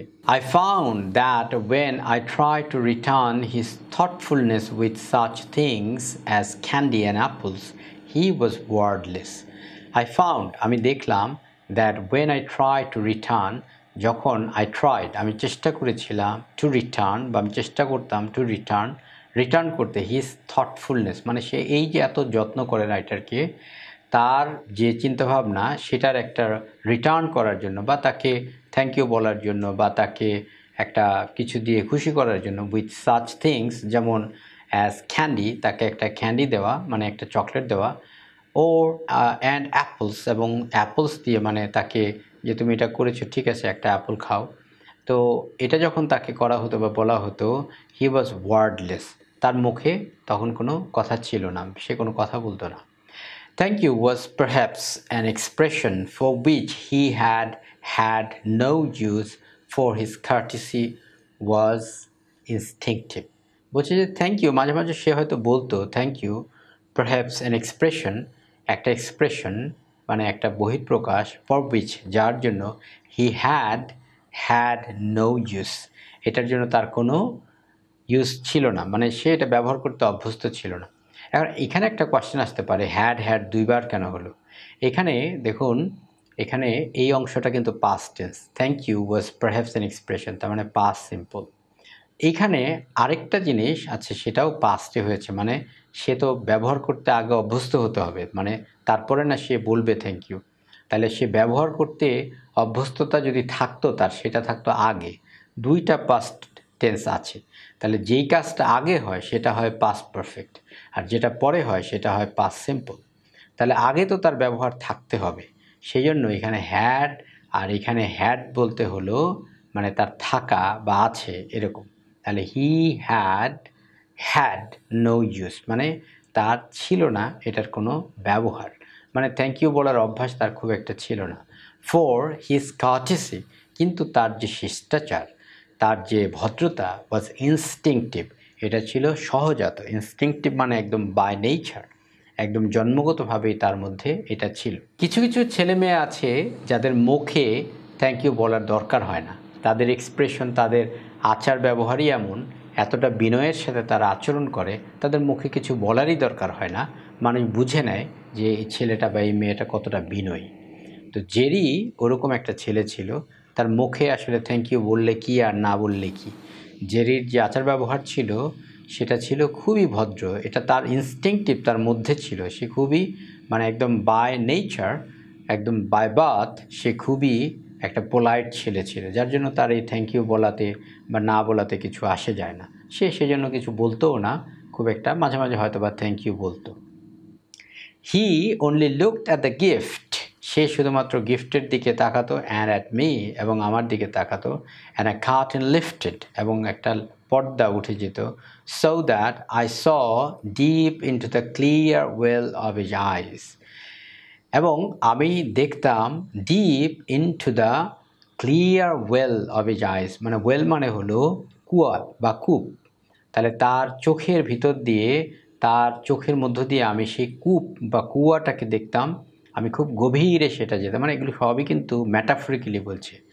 হ্যাঁ বলে না যে চোখ যে মনের কথা বলে, তাহলে চোখ যে কথা বলে, মনে হচ্ছিল যেন চোখ একটা গভীর কুয়া, আমি তার সেই গভীর কুয়াতে চলে যেতাম। সেখানে যে আমি দেখতাম যে সেখানে কি আছে।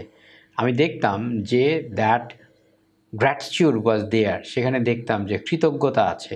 অর্থাৎ সে তাকে একটা গিফট দিলে, সে মুখে হয়তো কিছু বলতো না, কিন্তু তার সেই চোখের ভিতরে তার একটা গভীরতায় একটা কি থাকতো? কৃতজ্ঞতা থাকতো অ্যান্ড অ্যাফেকশন এবং তার একটা ভালোবাসা বা একটা মমতা থাকতো, একটা রেসপেক্ট বোধ থাকতো।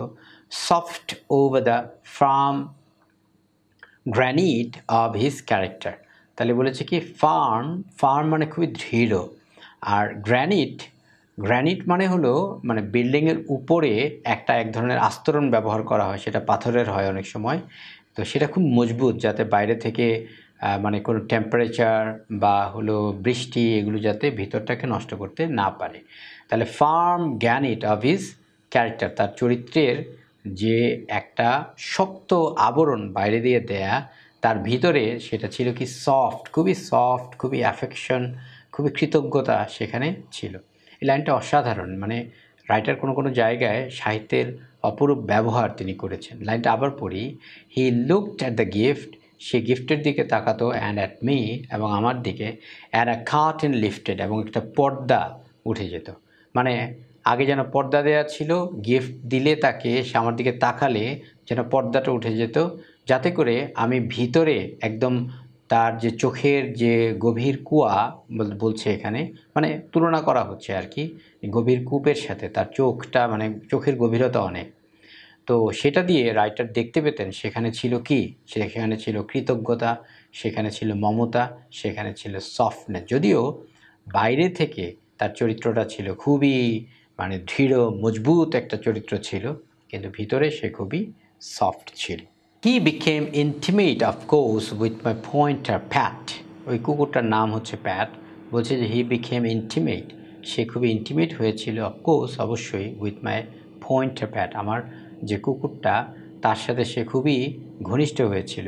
There is a strange communion between a boy and a dog অর্থাৎ দেয়ার ইজ সেখানে ছিল বা সেখানে আছে। কি আছে? একটা স্ট্রেঞ্জ কমিউনিয়ন কমিউনিয়ন মানে কমিউনিকেশন আর কি। তাদের মধ্যে একটা যোগাযোগ আছে between a boy and a and a dog মানে অল্প বয়সে একটা ছেলে এবং ডগের সাথে তাদের একটা দারুণ একটা কমিউনিকেশন ছিল। এই ছেলেটার সাথে ছিল আর কি। Perhaps they possess the same singleness of spirit the same kind of wisdom এই লাইনটা খুবই ইম্পর্ট্যান্ট এখানে একটা চমৎকার উপমা ব্যবহার করা হয়েছে। রাইটার মাঝে মাঝে কিছু কথা বলেছেন যেগুলো একদম মানে ইউনিভার্সাল যেটা অনেক বড় আর কি। তো এখানে বলছে যে পারহ্যাপস দেই পাজেস সম্ভবত তাদের দুজনেরই আছে দ্য সেম সিঙ্গেলনেস সিঙ্গেলনেস কি? একাকিত্ব বা একা। একাকিত্ব না হলেও মানে এখানে লোনলিনেস বোঝাচ্ছে না। সিঙ্গেলনেস মানে তারা হয়তো খুশি হ্যাপি বাট তারা কিন্তু একা। যেমন এই ডগটা কিন্তু রাইটারের কাছে একাই থাকে, তার কিন্তু কোনো সঙ্গী সাথী নাই। আবার জেরি, সেও কিন্তু একা। মানে রাইটার এখনও পর্যন্ত জানে যে তার মা নাই, সে একা। তো তাদের যে সিঙ্গেলনেস এই সিঙ্গেলনেসের কিন্তু অনেক ধরনের ডিপ্রেশন থাকে, অনেক ধরনের ফ্রাস্ট্রেশন থাকে। শেয়ার করার মানুষের অভাব হয় ফ্যামিলি বন্ডেজ তাদের গ্র- গড়ে ওঠে না বা সেই সুযোগটা তারা পায় না, সেজন্য তারা স্যাড অনুভব করে ইত্যাদি। তাহলে বলেছে সিঙ্গেলনেস অফ স্পিরিট স্পিরিট মানে আত্মা। তাহলে সেম সিঙ্গেলনেস অফ স্পিরিট স্পিরিটের মানে হলো একই ধরনও বুঝাতে পারে, সত্তাও বুঝাতে পারে। যে তাদের মধ্যে একই ধরনের একটা অভিরুচি ছিল, একই ধরনের তাদের তাদের আত্মাটা একই রকম, বা আত্মা বা তাদের বাহ্যিক কোনো একটা কাজ করার যে স্পৃহা সেটা একই রকম ছিল। The same kind of wisdom আবার বলছে যে তাদের মধ্যে একই ধরনের একটা উইজডম ছিল। মানে এই পয়েন্টার ডগ যেটা ছিল, সে কিন্তু বুঝতে পারে কোন মানুষটা ভালো, কোন মানুষটা খারাপ তার মধ্যে এই বুঝ বিবেচনাটা আছে। জেরির মধ্যেও সেটা ছিল। যে কারণেই জেরি যখন প্রথমবার আসছিল, তখন কিন্তু এই পয়েন্টার ডগ জেরিকে দেখে বার্ক করে নাই মানে ঘেউ করে নাই। It is difficult to explain but it exist তিনি বলছেন যে, আমিও এখানে বলতে যে অনেক কথাই আসলে বললাম বা অনেক কথা ঘুরিয়ে ফিরিয়ে বললাম, কারণ এই কথাগুলোকে একদম স্ট্রেট ফরওয়ার্ডলি বলাটা মুশকিল। তো রাইটার এই কথাটাকে উপলব্ধি করছেন এবং তিনি বলছেন, এবং এটাই রাইটারের মহত্ব যে তিনি সূক্ষ্ম সূক্ষ্ম জায়গাগুলো খুব স্পষ্টভাবেই ধরতে পারছেন। যেমন এই কথাটাকে ব্যাখ্যা করা the same singleness of spirit এই কথাটাকে ব্যাখ্যা করাটা খুব একটা সহজ না। এটা রাইটার আগে থেকেই আজ করতে পেরেছিলেন। সেজন্যই তিনি পরের লাইনটা বলছেন যে it is difficult to explain but it exist এটাকে ব্যাখ্যা করাটা কঠিন কিন্তু এটা এক্সিস্ট করে। আরও রাইটারের আরও কিছু আমরা মহৎ জায়গা পাবো যে তিনি হিউম্যান নেচারগুলোকে মানুষের যে বিহেভিয়ার সাইকোলজিকে খুব সূক্ষ্মভাবে তিনি ধরতে পেরেছেন এবং তিনি সেটাকে ভাষায় প্রকাশ করতে পেরেছেন। When I went across the state for a weekend when যখন আই ওয়েন্ট আমি গিয়েছিলাম অ্যাক্রস দ্য স্টেট অর্থাৎ স্টেট মানে শহরে গিয়েছিলাম, অর্থাৎ তিনি নিউ ইয়র্ক সিটিতে থাকতেন ফ্লোরিডা থেকে হয়তো নিউ ইয়র্ক সিটিতে গিয়েছিলেন। কোন সিটিতে গিয়েছিলেন সেটা কিন্তু এই পুরো গল্পের কোথাও উল্লেখ নাই। অর্থাৎ মূল গল্পটাতেও উল্লেখ নাই। এখানে তো অ্যাব্রিজড ভার্সন ব্যবহার করা হয়েছে, কিন্তু তথাপিও মূল গল্পতেও এখানে কোন সিটিতে গিয়েছিলেন সেটা উল্লেখ নাই। আমরা ধরে নিতে পারি যে নিউ ইয়র্ক সিটিতে গিয়েছিলেন, কারণ নিউ ইয়র্ক সিটিতে তিনি বসবাস করতেন। For a weekend. উইকেন্ড মানে হলো মানে সপ্তাহের যে দিনগুলোতে ছুটি থাকে সেগুলো, ধরা যাক আমাদের দেশের উইকেন্ড ধরলে আমরা বৃহস্পতিবারে তিনি চলে গেলেন, শুক্র শনিবার থেকে আবার রবিবারে অফিসের জন্য তিনি চলে আসলেন। এরকম একটা সময় আমরা এখানে ধরতে পারি weekend I left the dog in Jerry's charge আমি এই ডগটাকে জেরির চার্জে রেখে গেলাম, কারণ ডগ নিয়ে তো আর সব জায়গায় যাওয়া যায় না। রাইটার তার ইম্পর্টেন্ট কাজে গিয়েছিলেন, সেখানে যদি অফিসের কাজ হয়, তাছাড়া তিনি নিউজ পেপার ই করতেন। লেখালেখি করতেন তো সেই নিউজ পেপারের অফিসে যদি যান, সেখানে তার ডগ নিয়ে সব জায়গায় যাওয়া যাবে না। তো সেজন্য জেরির কাছে তিনি রেখে গেলেন, এরপর আরও কথা আছে, সেগুলো এই গল্পে বলা হয়নি। My return was belated and fog fill the mountain passes so treacherously that এরপর আরও কথা ছিল it was Monday noon before I reach the cabin এখানে বলেছে my return was belated late মানে দেরি করা, এখানে বি যুক্ত করে এটাকে ভার্ব করা হয়েছে মানে বিলেটেড মানে আমার আসাটা, ফিরে আসাটা দেরি হয়েছিল। প্যাসিভ সেন্টেন্স ব্যবহার করা হয়েছে, কারণ তিনি তো ইচ্ছা করে দেরি করেন নাই। তার আসাটা দেরি হয়ে গিয়েছিল। And fog filled the mountain এবং ফগ মানে কুয়াশা ফিল্ড এটা পূর্ণ করেছিল মাউন্টেন পাসেসকে মানে মাউন্টেনের যে পাস রাস্তাটা, সেটাকে সো ট্রেচারাসলি ট্রেচারাসলি মানে ভেরি ডেঞ্জারাসলি ট্রেচারাসলি আরও মানে আছে। ট্রেচারাস মানে হলো বিশ্বাসঘাতকতা করা। তো এখানে ব্যবহৃত হয়েছে very dangerously so dangerously that এটা এত ডেঞ্জারাসলি ই হয়েছিল, এটা ঢেকে গিয়েছিল ফগ দিয়ে। ইট ওয়াজ মানডে নুন এটা হয়ে গেছিল Monday noon before I reach the cabin অর্থাৎ তিনি বলতে পারতেন আমি মানডে নুনে আমি পৌঁছেছিলাম বাট এটাকে তিনি একটু ঘুরিয়ে বলছেন, যার জন্যই কথাটা সুন্দর লাগছে, যে আমার পৌঁছানোর আগেই সেখানে মানডে নুন হয়ে গিয়েছিল। অর্থাৎ মানডে নুনে তিনি সেখানে পৌঁছিয়েছিলেন বা মানডে ধরা যাক তিনি ডাস্কে পৌঁছেছিলেন বা ইভিনিংয়ে পৌঁছিয়েছিলেন, তো সেটাকে তিনি বলছেন যে আমার পৌঁছানোর আগেই সেটা ছিল মানডে নুন সেখানে অর্থাৎ মানডে দুপুর হয়ে গিয়েছিল। মানে ধরা যাক তিনি আফটারনুনে পৌঁছিয়েছেন ওকে তো তিনি বলছেন যে মানডে নুন হয়ে গিয়েছিল। The dog had been fed কুকুরটাকে খাওয়ানো হয়েছিল অ্যান্ড কেয়ার এবং কেয়ার নেওয়া হয়েছিল ফর দ্যাট মর্নিং অর্থাৎ ওই মর্নিংয়ের জন্য। অর্থাৎ তিনি ধরা যাক নুনে এসেছিলেন অথবা আফটারনুনে এসেছিলেন, তাহলে সকালে কি হবে? সকালে জেরি ওই কুকুরটার যত্ন নিয়েছিল। Jerry came all in the morning anxious অর্থাৎ জেরি খুবই উদ্বিগ্ন হয়ে সে সকালবেলা সে চলে এসেছিল। এবার জেরি বলছে the superintendent said nobody would drive in the fog he said সে বলল মানে জেরি বলল যে সুপারিনটেন্ডেন্ট বলেছিল কি যে নোবডি উড ড্রাইভ মানে কেউ ড্রাইভ করবে না, কেউ এই সময়ে গাড়ি চালিয়ে এখানে আসবে না ইন দ্য ফগ অর্থাৎ ফগ হি সেড সে বলল আই খেম আমি এসেছিলাম জাস্ট বিফোর বেড টাইম অর্থাৎ সে তো তার ওই এতিমখানাতে শোবার একটা সময় আছে। তো সে বলছে যে, আমি ঠিক বেড টাইমের আগে এসেছিলাম লাস্ট নাইট গত রাতে অ্যান্ড ইউ হ্যাডেন্ট কাম এবং আপনি আসেন নাই। মানে তার আগেই, আগের রাতে আসার কথা ছিল, কিন্তু আস্তে আস্তে তো রাইটারের প্রায় বিকেল হয়ে গেল।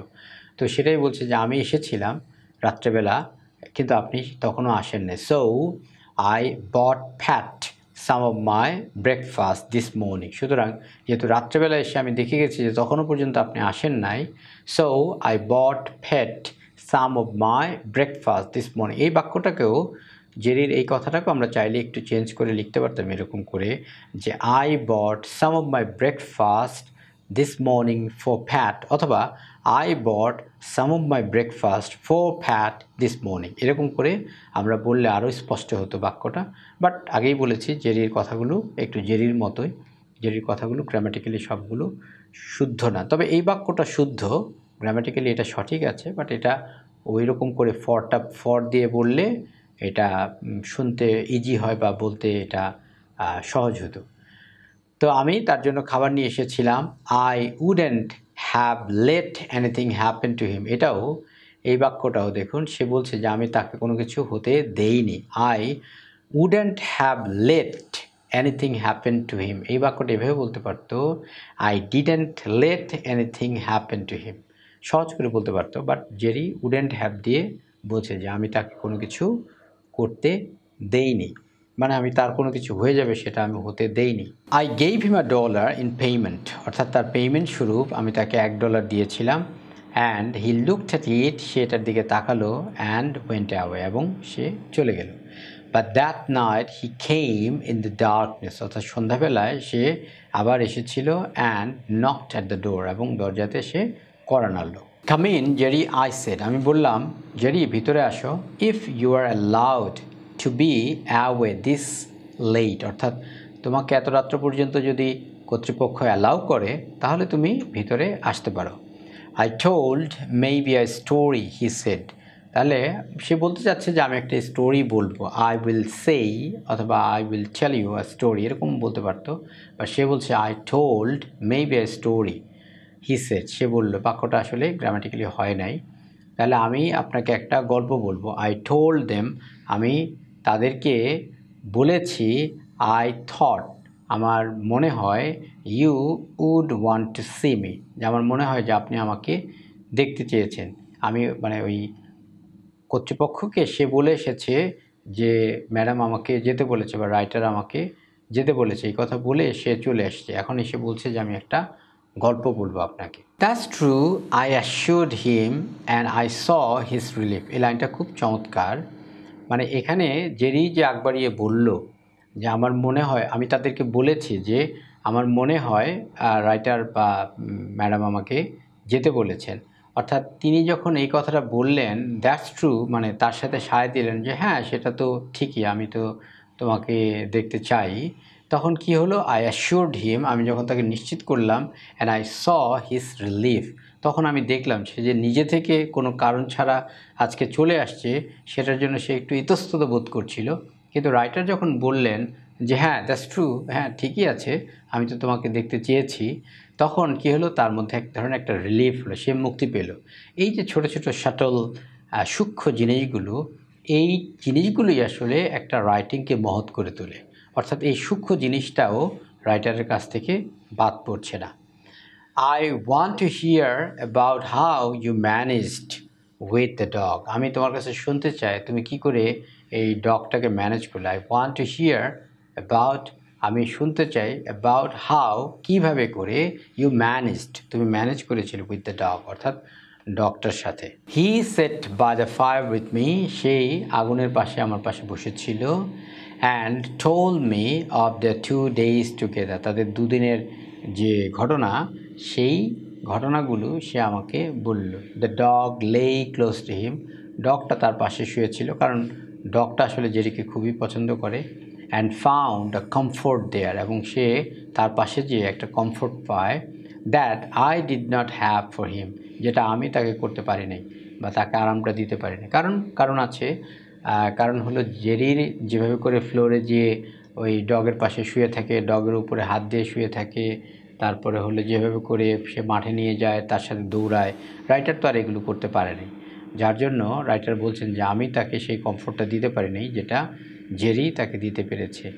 তারপর আরও কথা ছিল, সেগুলো বলা হয় নাই। He stayed right with me Jerry বলছে সে আমার সাথেই ছিল। হি টোল্ড মি সে আমাকে বলল এক্সেপ্ট মানে এটা রাইটার জেরি সম্বন্ধে বলছে যে, জেরি বলছে যে সে সে মানে হলো এই যে মানে প্যাট মানে পয়েন্টার ডগ যেটা। তো ডগের কথা বলছে যে সে আমার পাশেই ছিল। জেরি বলছে যে except when he ran in to the laurel যখন সে লরেলে দৌড়িয়েছিল। এখন এই যে গল্পটা, এখানে বারবার লরেলের কথা আসে, তো লরেলের একটা বিবরণ প্রথমে দেওয়া হয়েছিল, সেই অংশটুকু প্রথমে কেটে দেওয়া হয়েছে। যে কারণে লরেল শব্দটা এই প্রথম আসলো, কিন্তু লরেল বলতে আসলে কি বোঝাচ্ছে, সেটা এখানে আর বর্ণনাটা দেয়া নেই। লরেল বিষয়টা হলো, ওই পাহাড়ের পাশে রাস্তা ছিল, রাস্তায় ম্যাপল লিপসের ওই পড়ে থাকতো রাস্তার মধ্যে একদম মানে বিস্তীর্ণ জায়গা জুড়ে একটা খুব সুন্দর অনেক ধরনের পাতাবাহার গাছ ছিল। সেগুলো দিয়ে একটা সুন্দর একটা রাস্তা তৈরি হয়েছে। ম্যাপল লিভস রাস্তার মধ্যে পড়ে থাকে। খুব সুন্দর একটা জায়গা। এক পাশে পাহাড়, পাহাড়ের সাধারণত সাইড দিয়ে রাস্তা হয়। তার পাশে তো মানে খাড়ি জায়গা থাকে।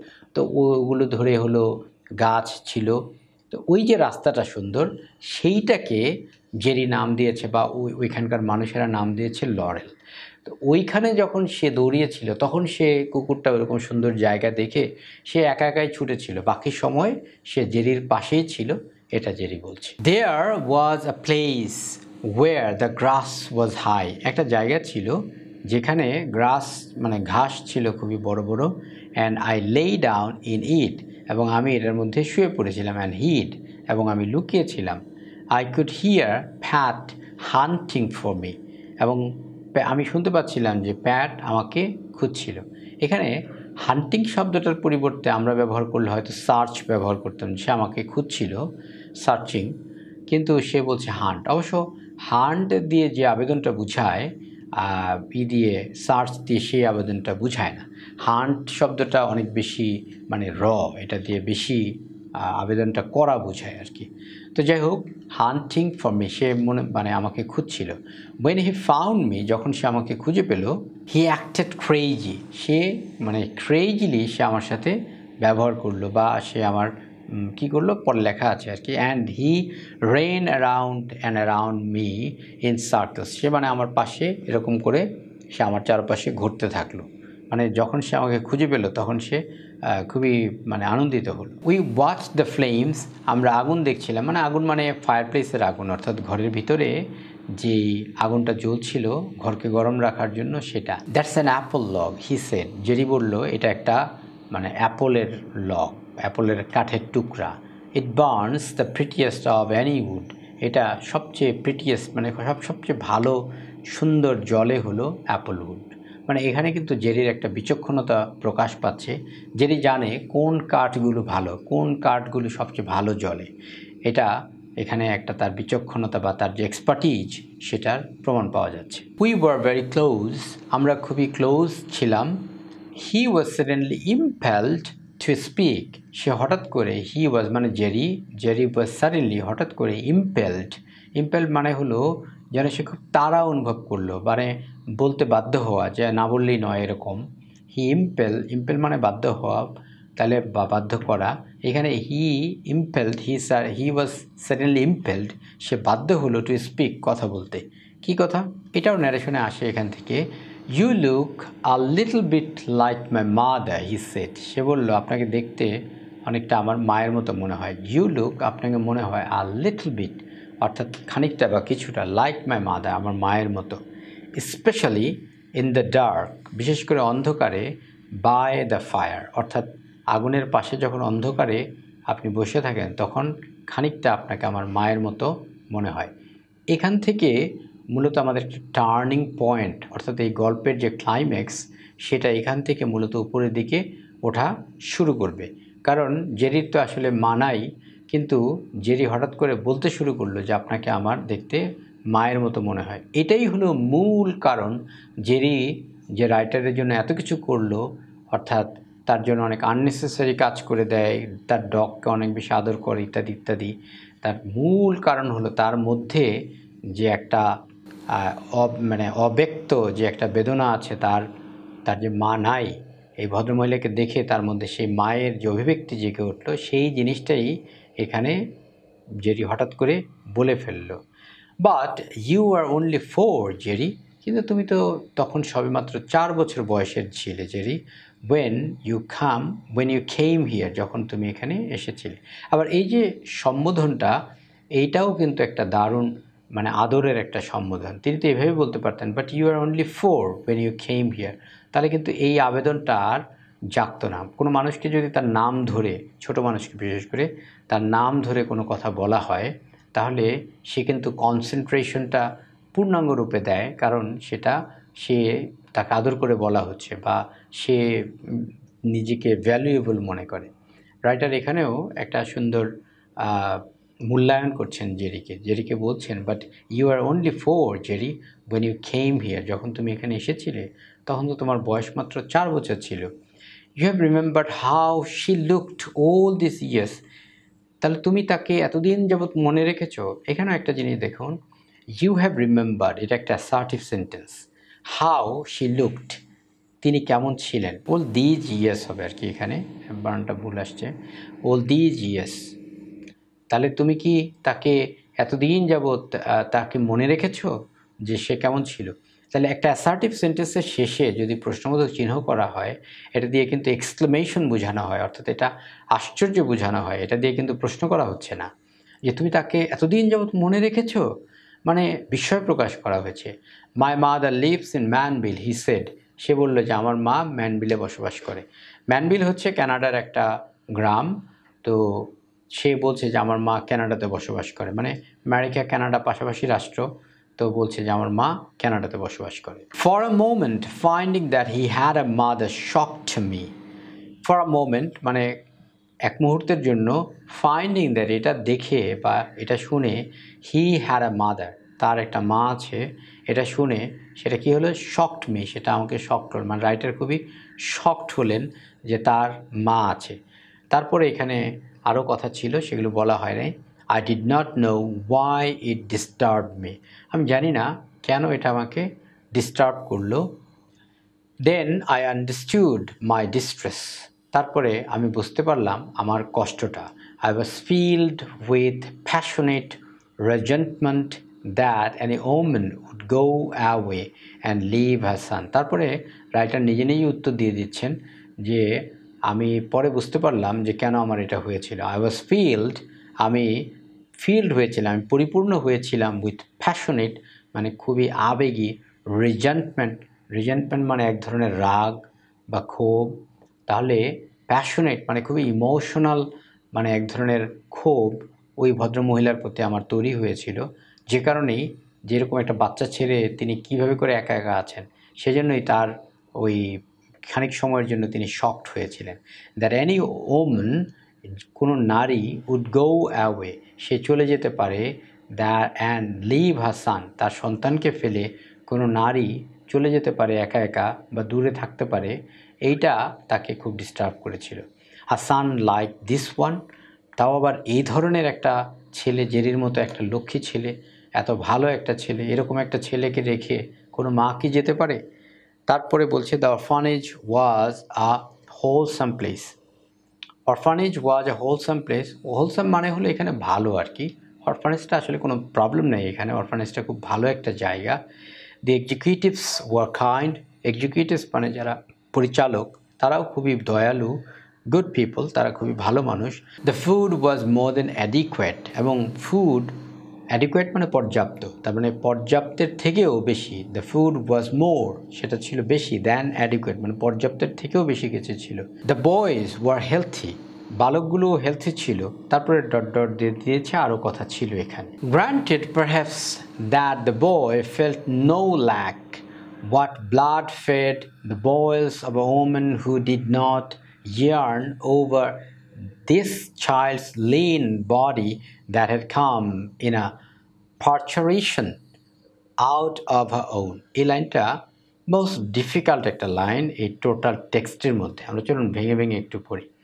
গ্রান্টেড মানে ধরা যাক বা ধরে নিলাম পারহ্যাপস সম্ভবত that the boy felt no lack যে বালকটা কোনো ধরনের ঘাটতি, কোনো ধরনের অভাব সে এখানে বোধ করে নাই। What blood fed the bowels of women অর্থ হলো ব্লাড ফেড মানে হলো রক্ত খাওয়া আর কি। তো এখানে মাতৃগর্ভে যখন একটা বাচ্চা থাকে, তখন তো সে তার মায়ের রক্ত থেকেই মূলত সে তার জীবনটাকে বাঁচায়। মায়ের রক্ত সে নাভির মাধ্যমে নিয়েই তো সে সেখানে বেঁচে থাকে। ওটাকে বলে হয়েছে যে ব্লাড ফেড মানে ওখানে তো অন্য কোনো খাবার আর দেওয়া হয় না।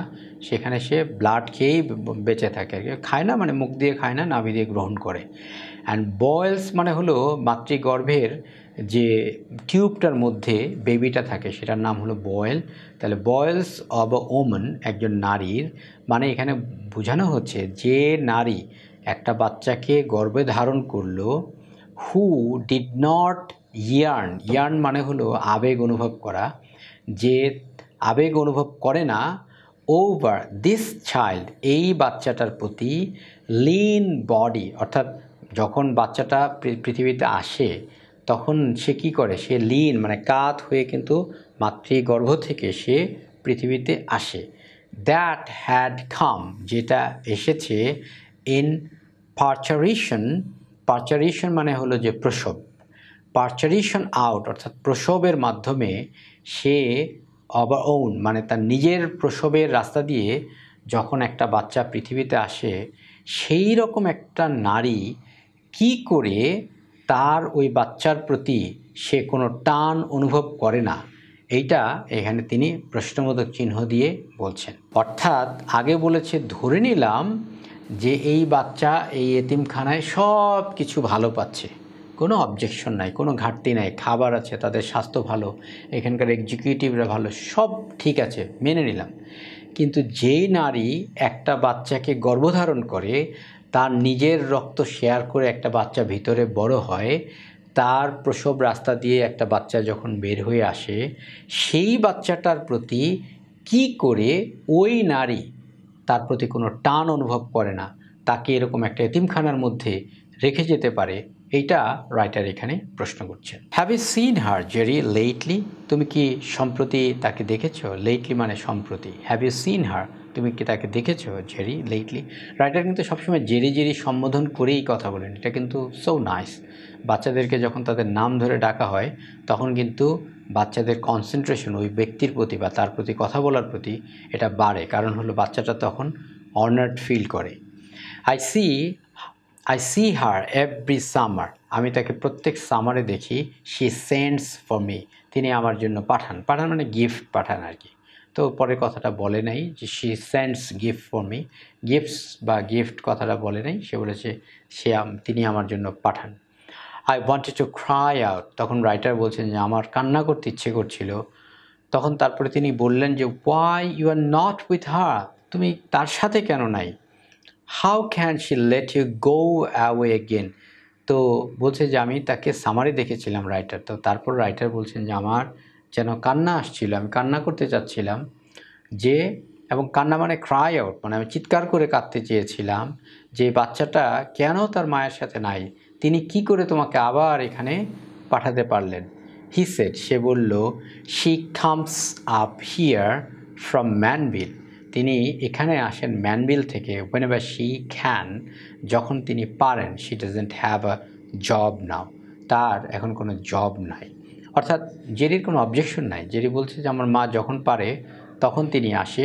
কিন্তু এখন তো তার কোনো জব নাই। His face shone in the fire light অর্থাৎ তার মুখটা, জেরির মুখটা যেন জলজল করছিল, ওই ফায়ার লাইট মানে ফায়ারের আগুনে তার মুখটা যেন জলজল করছিল। She wanted to give me a puppy but they can't let any one boy keep puppy যেটি বলছে শি ওয়ান্টেড টু মানে তার মা wanted to give me a puppy মানে বলছে যে তার মা তাকে একটা পাপি দিতে চেয়েছিল, একটা কুকুরের বাচ্চা দিতে চেয়েছিল but they can't let anyone মানে এখানেও গ্রামাটিক্যালি ভুল আছে, এটা হওয়ার কথা ছিল they don't allow any boy অথবা অ্যানি ওয়ান হ্যাঁ বলছে যে অ্যানি ওয়ান বয় আবার একটা ওয়ান সে জুড়ে দিয়েছে, আবার কান্ট বলেছে ডোন্টের জায়গায় whatever they can't let any one boy keep puppy তারা এখানে কোনো বাচ্চাদেরকে পাপি রাখতে দেয় না। মানে ন্যাচারালি দিবে না, কারণ এতিমখানাতে তো বাচ্চাগুলোকে খাওয়ানোটাই অথরিটির জন্য টাফ তারা আবার ওখানে কুকুর, প্রত্যেকে আবার কুকুর দিবে কী করে? কারণ কুকুরের জন্য তো আলাদা খাবার দিতে হবে। You remember the suit I had on the last Sunday আপনার নিশ্চয়ই মনে আছে you remember the suit I had on যেটা আমি পড়েছিলাম লাস্ট সানডে যেটা আমি গত সানডেতে পড়েছিলাম। হি ওয়াজ প্লেইনলি প্রাউড মানে রাইটার দেখেন এখানে আবার খুব সূক্ষ্মভাবে তিনি এই কথাটাকে ধরিয়ে দিচ্ছেন যে হি ওয়াজ প্লেইনলি প্রাউড মানে যেই জামাটার জন্য সে খুবই গর্ববোধ করছিল মানে সে খুব গর্বের সাথে এটা বলছিল মানে যেন খানিকটা সে শো অফ করছে যে আমাকে যে জামাটা আমি গত পরশু দিন সানডেতে পরে এসেছিলাম যেটা দেখেছেন, তো সেইটা she sends me that for Christmas সেটা ক্রিসমাসের জন্য আমার মা আমাকে পাঠিয়েছে। শি মানে এখানে তার মা সেন্ট মি মানে মি মানে জেরি। তাহলে সে তাকে এটা পাঠিয়েছিল মানে জেরির মা জেরিকে পাঠিয়েছিল দ্যাট ফর ক্রিসমাস সেই ইয়েটা, জামাটা সে পাঠিয়েছিল ক্রিসমাসে দ্য ক্রিসমাস বিফোর দ্যাট এই ক্রিসমাসের আগের ক্রিসমাসে দ্য ক্রিসমাস বিফোর দ্যাট তার আগের ক্রিসমাসে he drew a long breath তখন সে একটা লম্বা নিঃশ্বাস নিল। Savouring the memory savouring the memory মানে হলো স্যাভোরিং মানে হলো মানে সে তার মেমোরিটাকে খুব এনজয় করছিল। সে খুবই মানে প্রাউড ফিল করে বলছিল। মানে অনেক সময় বলে না যে, আমার দাদার অনেক সম্পদ ছিল। বলতে বলতে সে প্রাউড ফিল করে। হ্যাঁ এরকম আর কি। তো সে বলছে যে স্যাভোরিং দ্য মেমোরিজ তার ওই মেমোরিটাকে সে খুব চর্বণ করে, নিঃশ্বাস নিয়ে, দম নিয়ে সে বলছিল যে, আগের ক্রিসমাসে এই ক্রিসমাসে সে দিয়েছিল ড্রেস তার আগের ক্রিসমাসে কী দিয়েছিল? সে sent me a pair of skates সে একজোড়া স্কেটস দিয়েছিল। মানে একজোড়া জুতা দিয়েছিল, যার নিচে হলো চাকা থাকে, ওগুলো দিয়ে মানে চলা যায়। I let the other boys use them আমি অন্য ছেলেদেরকে এটা ব্যবহার করতে দেই। দেই আর অলওয়েজ বোরিং দেম তারা সবসময় আমার কাছ থেকে এটা ধার নেয়। মানে এখানেও দেখুন প্রেজেন্ট কন্টিনিউয়াস ব্যবহার করছে বাট এটা প্রেজেন্ট সিম্পল হওয়ার কথা ছিল।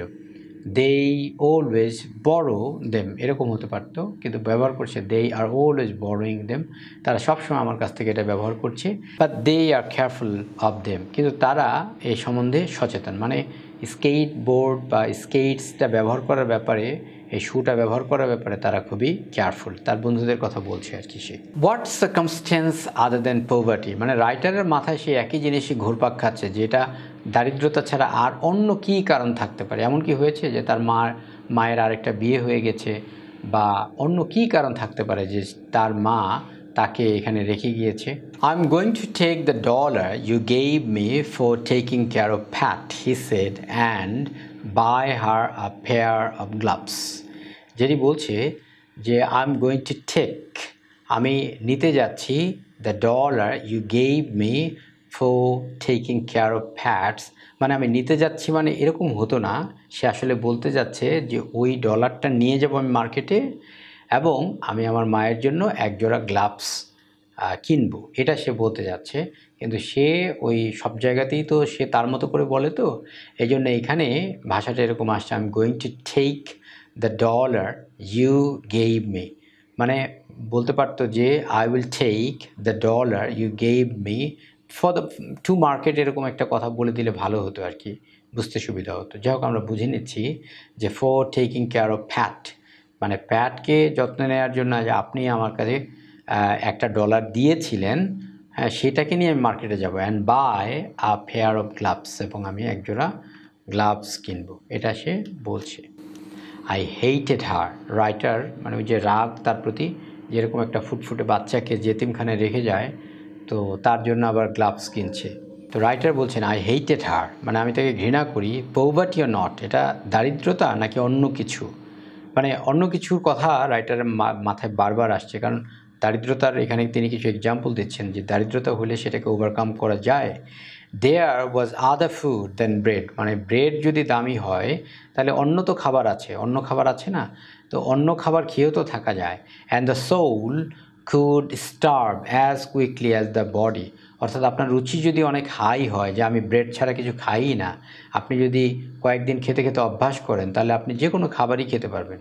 তো এটাই বলছি যে দ্য সোল মানে আত্মা কুড স্টার্ভ স্টার্ভ মানে হলো নাকে থাকা as quickly as the body অর্থাৎ বডি যতটা দ্রুত নাকে থাকতে পারে, আত্মাও সেরকমই পারে। অর্থাৎ আপনি নিজেকে যেভাবে করে মানিয়ে নেবেন, সেভাবে করেই সম্ভব। He was taking his dollar to buy gloves for her big stupid hands তো বলছে যে সে এইটুকু বাচ্চা যে আমার কাছ থেকে এক ডলার পেয়েছে, সে তার মায়ের জন্য গ্লাভস কেনার কথা সে ভাবছে যে he was taking his dollar. সে তার ডলারটা নিয়ে যাচ্ছে to buy gloves for her big stupid hands. এখানে দেখুন, এখানে তাকে বকা দিচ্ছে এভাবে করে যে তার ওই মানে স্টিপিড হ্যান্ডের জন্য যে মা তার দুই হাতে বাচ্চাকে বুকে না ধরে রেখে তাকে পাঠিয়ে দিচ্ছে এতিমখানায়। তার সেই হাতের জন্য সে আবার গ্লাভস কিনতে যাচ্ছে and lived away from him এবং সে তার থেকে দূরে থাকে ইন ম্যানবিল ম্যানবিলে অ্যান্ড কন্টেন্টেড এবং সে খুবই সন্তুষ্ট herself with sending him skates এবং তাকে ওই জুতা পাঠিয়ে স্কেটস পাঠিয়ে সে খুবই সন্তুষ্ট। তো রাইটার এরকম করে নিজে মনে মনে ভাবছেন আর ওই ভদ্রমহিলাকে বকা দিচ্ছেন। যে তুমি কেমন মা? দূরে থাকো, তোমার এত সুন্দর একটা বাচ্চা। যে বাচ্চা আমার কাছ থেকে এক ডলার পেল, সে তোমার জন্য গ্লাভস কেনার চিন্তা করে। অথচ তুমি ম্যানবিলে বসে বসে খুবই সন্তুষ্ট জীবনযাপন করছ। She likes white gloves he said সে বলল মানে জেরি জেরি বলছে তার মায়ের কথা যে আমার মা হোয়াইট গ্লাভস পছন্দ করে। Do you think I can get them for dollar আপনার কি মনে হয় যে এক ডলারে আমি সেটা কিনতে পারব? I think so I said আমি বললাম যে হ্যাঁ তুমি সেটা পারবে। এরপরে আরও কথা ছিল আর কি এখানে। And after my first fury at her মানে ফিউরি মানে রাগ হওয়া, তাহলে আমার সেই রাগের পরে we did not speak of her again মানে তার সম্বন্ধে আমি আর কখনো কথা বলি না এটাও খুবই মানে ভদ্রতার একটা প্রকাশ যে তার মা আছে বেশ ভালো, তারপরে আর এই সম্বন্ধে আর কোনো কথা নাই।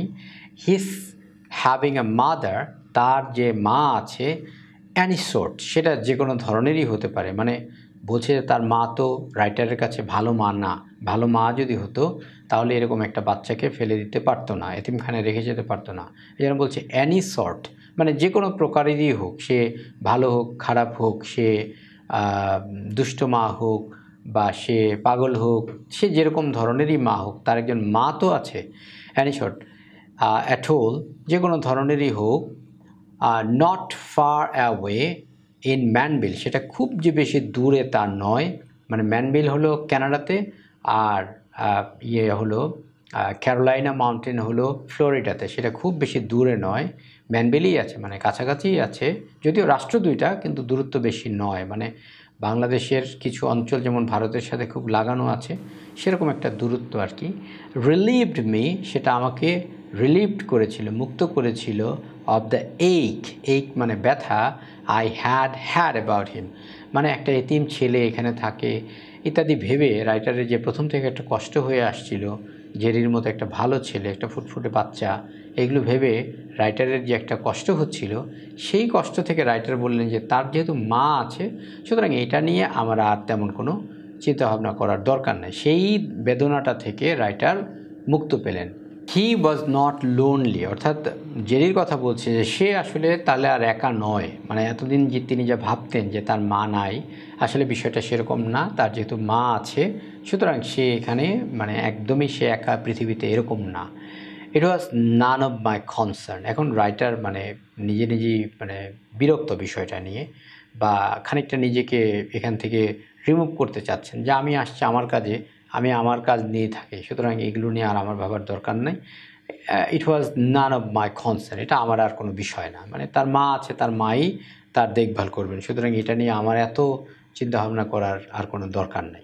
হি কেম এভরিডে সে প্রত্যেক দিন আসতো অ্যান্ড খাট মাই উড সে আমার কাট কাটতো and did small helpful favours এবং কিছু হেল্পফুল মানে খুবই যেটা উপকার হয়, এরকম কিছু কাজ করতো অ্যান্ড স্টেইড টু টক এবং আমার জন্য, আমার সাথে কথা বলার জন্য সে অপেক্ষা করতো বা থাকতো।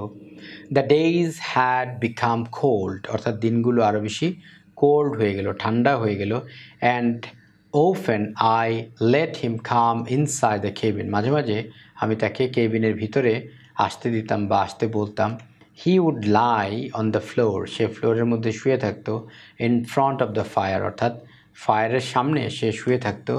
With one arm across the pointer pointer মানে হলো তার যে ডগ ডগের উপরে একটা হাত দিয়ে সে ডগের উপরে শুয়ে থাকতো। অ্যান্ড দেই উড বোথ ডোজ এবং তারা উভয়ে ঘুমিয়ে যেত। ডোজ মানে দিনের বেলায় খানিক সময়ের জন্য ঘুমানো। তাহলে দে উড বোথ ডোজ তারা উভয়ে ঘুমিয়ে যেত। And wait quietly for me এবং তারা খুব শান্তভাবে আমার জন্য অপেক্ষা করত other days they ran with a common ecstasy through the laurel and since the asters were now gone, he brought me back vermilion maple leaves and chestnut boughs dripping with imperial yellow. I was ready to go. যাক বড় line ভেঙে পড়ি আদার days অন্যান্য দিনে দে ran তারা মানে দৌড়াতে যেত with a common ecstasy ecstasy মানে খুবই আনন্দ আর কি, সুপ্রিম আনন্দ তাদের দুজনের থ্রু দ্য লরেল লরেলের দিকে তারা মানে লরেলের মধ্য দিয়ে তারা দৌড়াতে যেত। And since the asters asters মানে এক ধরনের ফুল যেটা খানিকটা বেগুনি কালারের হয়, সেই ফুল ওয়ার নাও গন সেগুলো আর এখন নাই। মানে ওই ফুলগুলো একটা নির্দিষ্ট সময়ে, ফোটে বছরে, সেই সময়টা শেষ। সেজন্য সেই ফুলগুলো আর পাওয়া যায় না। He brought me back vermilion maple leaves vermilion মানে খুবই রঙিন আর কি, লাল কালারের। অর্থাৎ কালার পাতাটা যখন বেশি পেকে যায়, তখন ওই আমাদের যেমন এটা একটু হলুদ কালার বা একটু লাল কালার ধারণ করে ওরকম। তাহলে ভার্মিলন মানে খুবই রঙিন ম্যাপল লিপস আমার জন্য নিয়ে আসতেন। চেস্টনাট বাউস বাউস মানে শাখা। তাহলে তার শাখা বা কাণ্ড নিয়ে আসতো, শাখা, ডাল নিয়ে আসতো। আর ড্রিপিং ড্রিপিং অর্থ এখানে ভেজা। তাহলে ড্রিপিং মানে হলো ভিজে এটা চুপসে যাওয়া উইথ ইম্পেরিয়াল ইয়েলো ইম্পেরিয়াল মানে রাজকীয় মানে ভীষণ ইয়েলো অর্থাৎ গাছের ডালটা হতো পানিতে ভিজে, সেটা চুপচুপে হয়ে, সেটা হয়ে যেত খুবই হলুদ। আর গাছের পাতাগুলো হতো ওই ম্যাপল লিপসের পাতাগুলো হতো লাল। আর চেস্টনাটের চেস্টনাট থাকতো ব্ল্যাক, কিন্তু সেটা ওই ভিজে হলুদ কালার ধারণ করতো। সেই ডালাগুলো সে আমার জন্য নিয়ে আসতো। I was ready to go আমি যাওয়ার জন্য প্রস- প্রস্তুত হয়েছিলাম। মানে রাইটারের সময় শেষ, এখন তিনি চলে যাবেন। আই সেট টু হিম আমি তাকে বললাম you have been my good friend Jerry Jerry তুমি আমার খুব ভালো বন্ধু ছিলে। I shall often think of you আমি মাঝে মাঝে তোমার কথা চিন্তা করব অ্যান্ড মিস ইউ এবং আমি তোমাকে মিস করব। Pat will miss you too প্যাটও তোমাকে মিস করবে। আই এম লিভিং টুমোরো আমি আগামীকালকে চলে যাচ্ছি। হি ডিড নট আনসার সে কোনো আনসার করল না। এরপরে এখানে কথা ছিল অ্যান্ড আই ওয়াচড হিম এবং আমি তাকে দেখলাম গো ইন সাইলেন্স নীরবে সে চলে যাচ্ছে আপ দ্য হিল অর্থাৎ পাহাড়ের উপরে সে চলে যাচ্ছে। I expected him the next day আমি তাকে পরের দিন প্রত্যাশা করেছিলাম বাট হি ডিড নট খাম কিন্তু সে আসে নাই। তারপরে আরও কিছু ছিল। আই ক্লোজ দ্য কেবিন আমি কেবিনটাকে ক্লোজ করলাম মানে আমি সেখানে পাওনাদানা যা আছে এগুলো দিয়ে দেবো ইত্যাদি, বা সেখানে যা যা আমার নেওয়ার আছে সেগুলো নিলাম অ্যান্ড স্টার্ট দ্য কার এবং গাড়িটা স্টার্ট করলাম। I stopped by the orphanage আমি ওই যে হাফ মাইল আসার পর অরফানিজ সেখানে এসে আমি থামলাম and left the cabin key এবং কেবিন কিটা তাদেরকে দিলাম এবং মানি দিলাম মানে এখানে আরও কিছু কথা ছিল, তার ইলেকট্রিসিটি বিল অন্যান্য যে টাকা পয়সা, সেগুলো রাইটার বুঝিয়ে দিলেন উইথ মিস ক্লার্ক অর্থাৎ মিস ক্লার্ককে তিনি বুঝিয়ে দিলেন। তিনি হচ্ছেন ওই যে সুপারিনটেন্ডেন্ট অর্থাৎ তিনিই হলেন দায়িত্বপ্রাপ্ত সুপার আর কি, সংক্ষেপে আমরা যেটা বলি। And will you call Jerry for me to say goodbye to him দয়া করে আপনি কি জেরিকে একটু কল করবেন? তাকে যাতে আমি বিদায় জানাতে পারি। And will you call Jerry জেরিকে call করবেন ফর মি আমার জন্য টু সেই বলতে গুড বাই টু হিম তাকে গুড বাই বলতে। I don't know where he is she said তিনি বললেন যে আমি জানি না সে কোথায়। I am afraid he is not well এখানে অ্যাফ্রেড শব্দটার মানে কিন্তু ভয় পাওয়া না। এখানে অ্যাফ্রেড মানে বিনয়ের সাথে কথাটা বলার জন্য বলা।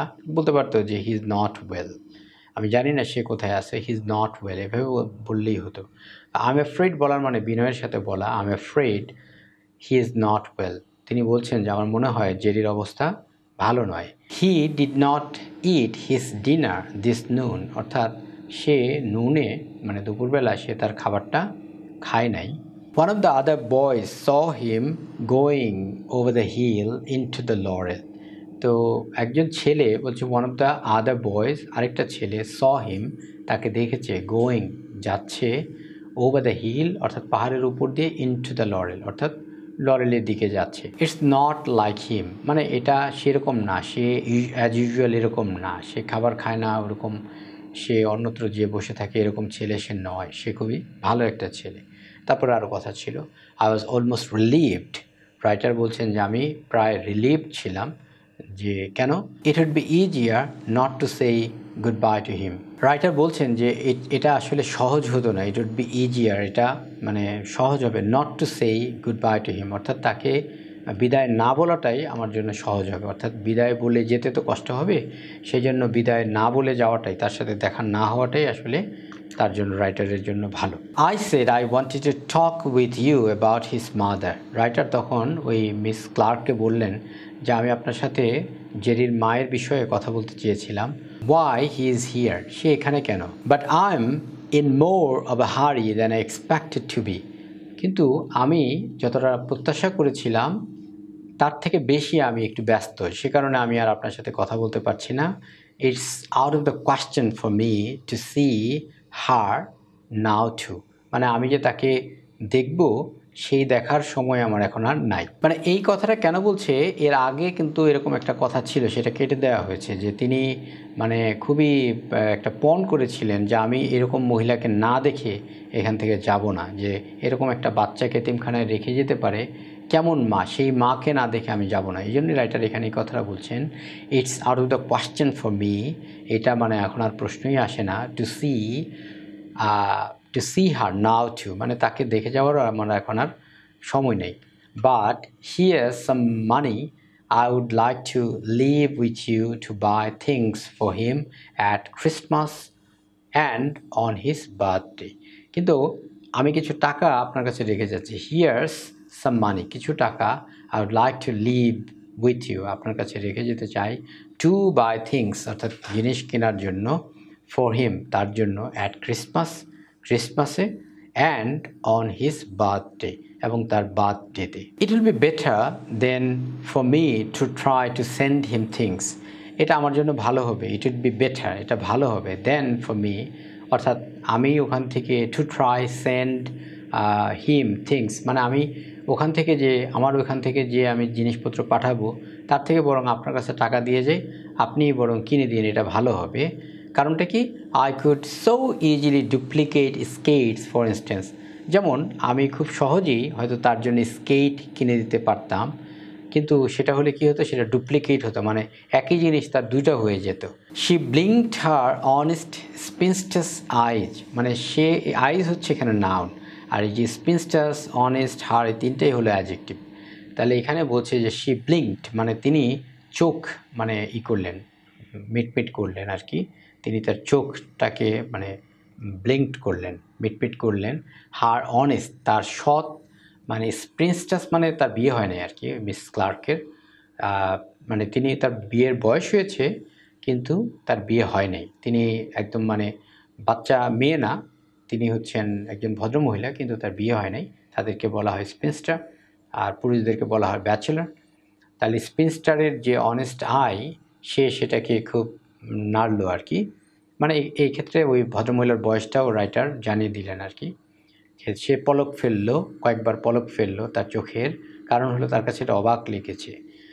There's not much use for skates here এখানে স্কেটসের তেমন কোনো ব্যবহার নাই। মানে এখানে কোনো ছেলেরা স্কেটস ব্যবহার করে না। She said her stupidity annoyed me writer বলছেন যে তার যে স্টিপিডিটি সেটা আমাকে অ্যানয় করল। কারণ জেরি আমাকে বলেছে যে জেরির হলো স্কেটস আছে, তার মা হলো যখন ছুটি পায় তখন সে প্রত্যেক সামার এসে দেখা করতে আসে আর এখন ভদ্রমহিলা কিছুই বুঝতে পারছে না কেন। তখন রাইটার এটাকে ভেঙে বলছেন হোয়াট আই মিন আমি যেটা বুঝাতে চাই আই সেড আমি তখন বললাম ইজ দ্যাট সেটা হলো I don't want to duplicate things his mother sends him অর্থাৎ তার মা তাকে যে জিনিসগুলো পাঠায়, সেই জিনিসগুলোকে আমি ডুপ্লিকেট করতে চাই না।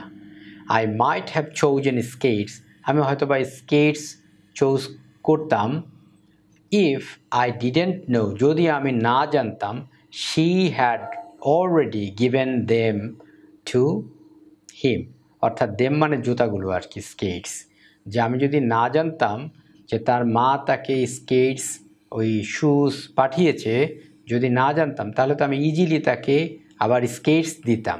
শি স্টেয়ার্ড অ্যাট মি সে এক দৃষ্টিতে আমার দিকে তাকিয়ে রইল। মানে এই ভদ্রমহিলা মিস ক্লার্ক আমার দিকে তাকিয়ে রইল। মানে রাইটারের দিকে তাকিয়ে রইল। আই ডোন্ট আন্ডারস্ট্যান্ড আমি বুঝতে পারছি না শি সেড সে বলল হি হ্যাজ নো মাদার তার কোনো মা নেই। হি হ্যাজ নো স্কেটস তার কোনো স্কেটস নেই। এখানেই রাইটার এই গল্পটাকে শেষ করে দিয়েছেন। এখন প্রশ্ন হলো, যে জেরি সম্বন্ধে রাইটার এত প্রশংসা করলেন যে তাকে তার মধ্যে তিনি যেটা খুঁজে পান সেটা হলো ইন্টিগ্রিটি বলছেন যে it is bedded on courage but more than more than brave তারপরে আরও বলেছেন যে it is honest but more than honesty তো এরকম ভালো বললার পুরো গল্পটা জুড়েই আমরা জেরির যে চরিত্র দেখলাম, এতে করে জেরি মিথ্যে কথা বলবে এটা কল্পনাই করা যায় না। সে এরকম একটা ভালো ছেলে, এরকম একটা অনেস্ট ছেলে, এরকম একটা বুদ্ধিমান ছেলে, তারপরেও সে মিথ্যে কথা বলেছে, এটা লাস্টে প্রমাণিত হলো। প্রশ্নটা হলো, জেরি এরকম কাজটা কেন করল? এটার মূল কথাটা, দেখুন, যে রাইটার যে কষ্ট পাচ্ছিল রাইটার এক পর্যায়ে বলেছে যে none of my business none of concern তার মা আছে, তার মাই দেখবে। তার আগে কিন্তু রাইটারের মনে প্রবল একটা কষ্ট ছিল যেরকম একটা ফুটফুটে বাচ্চা তার একটা মা নাই। যখনই তার মা আছে এটা ভাবলো, তখন কিন্তু রাইটার অ্যাজ ইউজুয়াল নর্মাল আচরণ করল তার প্রতি। তার প্রতি আর অত বেশি মমতা তার আর আসলো না যে, না, সে তো লোনলি না। আমি যেটা ফিল করছি সে পৃথিবীতে লোনলি একাকী একটা একা ছেলে এরকম তো না। জেরির মাথায় এই জিনিসটাই এসেছিল, জেরি কারোর করুণা নিতে চায় না। রাইটার যে তাকে অতিরিক্ত মমতা দেখাবেন, মায়ের মতো আদর দেখাবেন জেরি এতটাই অনেস্ট জেরি এতটাই ম্যাচিউরড যে সে রাইটারের কোনো করুণা নিতে চায় না। সেই জন্য সে বলেছে, আমার মা আছে, আমার মা আমাকে গিফট দেয়। রাইটার যে তাকে গিফট দিবে, সে সেটাও চায় না, কারণ তার মা তো তাকে গিফট দেয় কিন্তু জেরির মনেও মায়ের যে আকাঙ্ক্ষা, সেই আকাঙ্ক্ষা কিন্তু থেমেছিল না। রাইটারকে দেখেই কিন্তু তার প্রথমে মনে হয়েছিল, মা থাকলে আসলে কেমন হয়? সেজন্যই সে বলেছিল you look little bit like my mother আপনাকে আমার মায়ের মতো মনে হয়। আর রাইটারের মধ্যেও প্রবল একটা মাতৃত্ব জেগে উঠেছিল। তো এই মায়ের এবং মাতৃত্বের, মায়ের নয়, ঠিক? মাতৃত্বের এবং একটা সন্তানের প্রতি যে একটা মমতা, সেই অ্যাফেকশনটাকে নিয়েই মূলত মার্জরি কিনান রাউলিংস অত্যন্ত সুন্দর একটা ছোট গল্প তিনি লিখেছেন। আর এই গল্পটার মাঝখানে মাঝখানে তাদের যে অনুভূতিগুলো ব্যক্ত করেছেন তিনি, পয়েন্টে পয়েন্টে ধরিয়ে দিয়েছেন, এই পয়েন্টগুলোই মূলত রাইটারকে অনেক বেশি বড় করেছে আর আমাদের কাছে গল্পটাকে অনেক বেশি প্রাণবন্ত করে তুলেছে। পরবর্তী ভিডিও দেখার আমন্ত্রণ রইল। সে পর্যন্ত ভালো থাকুন, সুস্থ থাকুন, দেশকে ভালোবাসুন, বিশ্ব মানবতার কল্যাণে অবদান রাখুন। সকলের জন্য শুভেচ্ছা, ভালো থাকুন।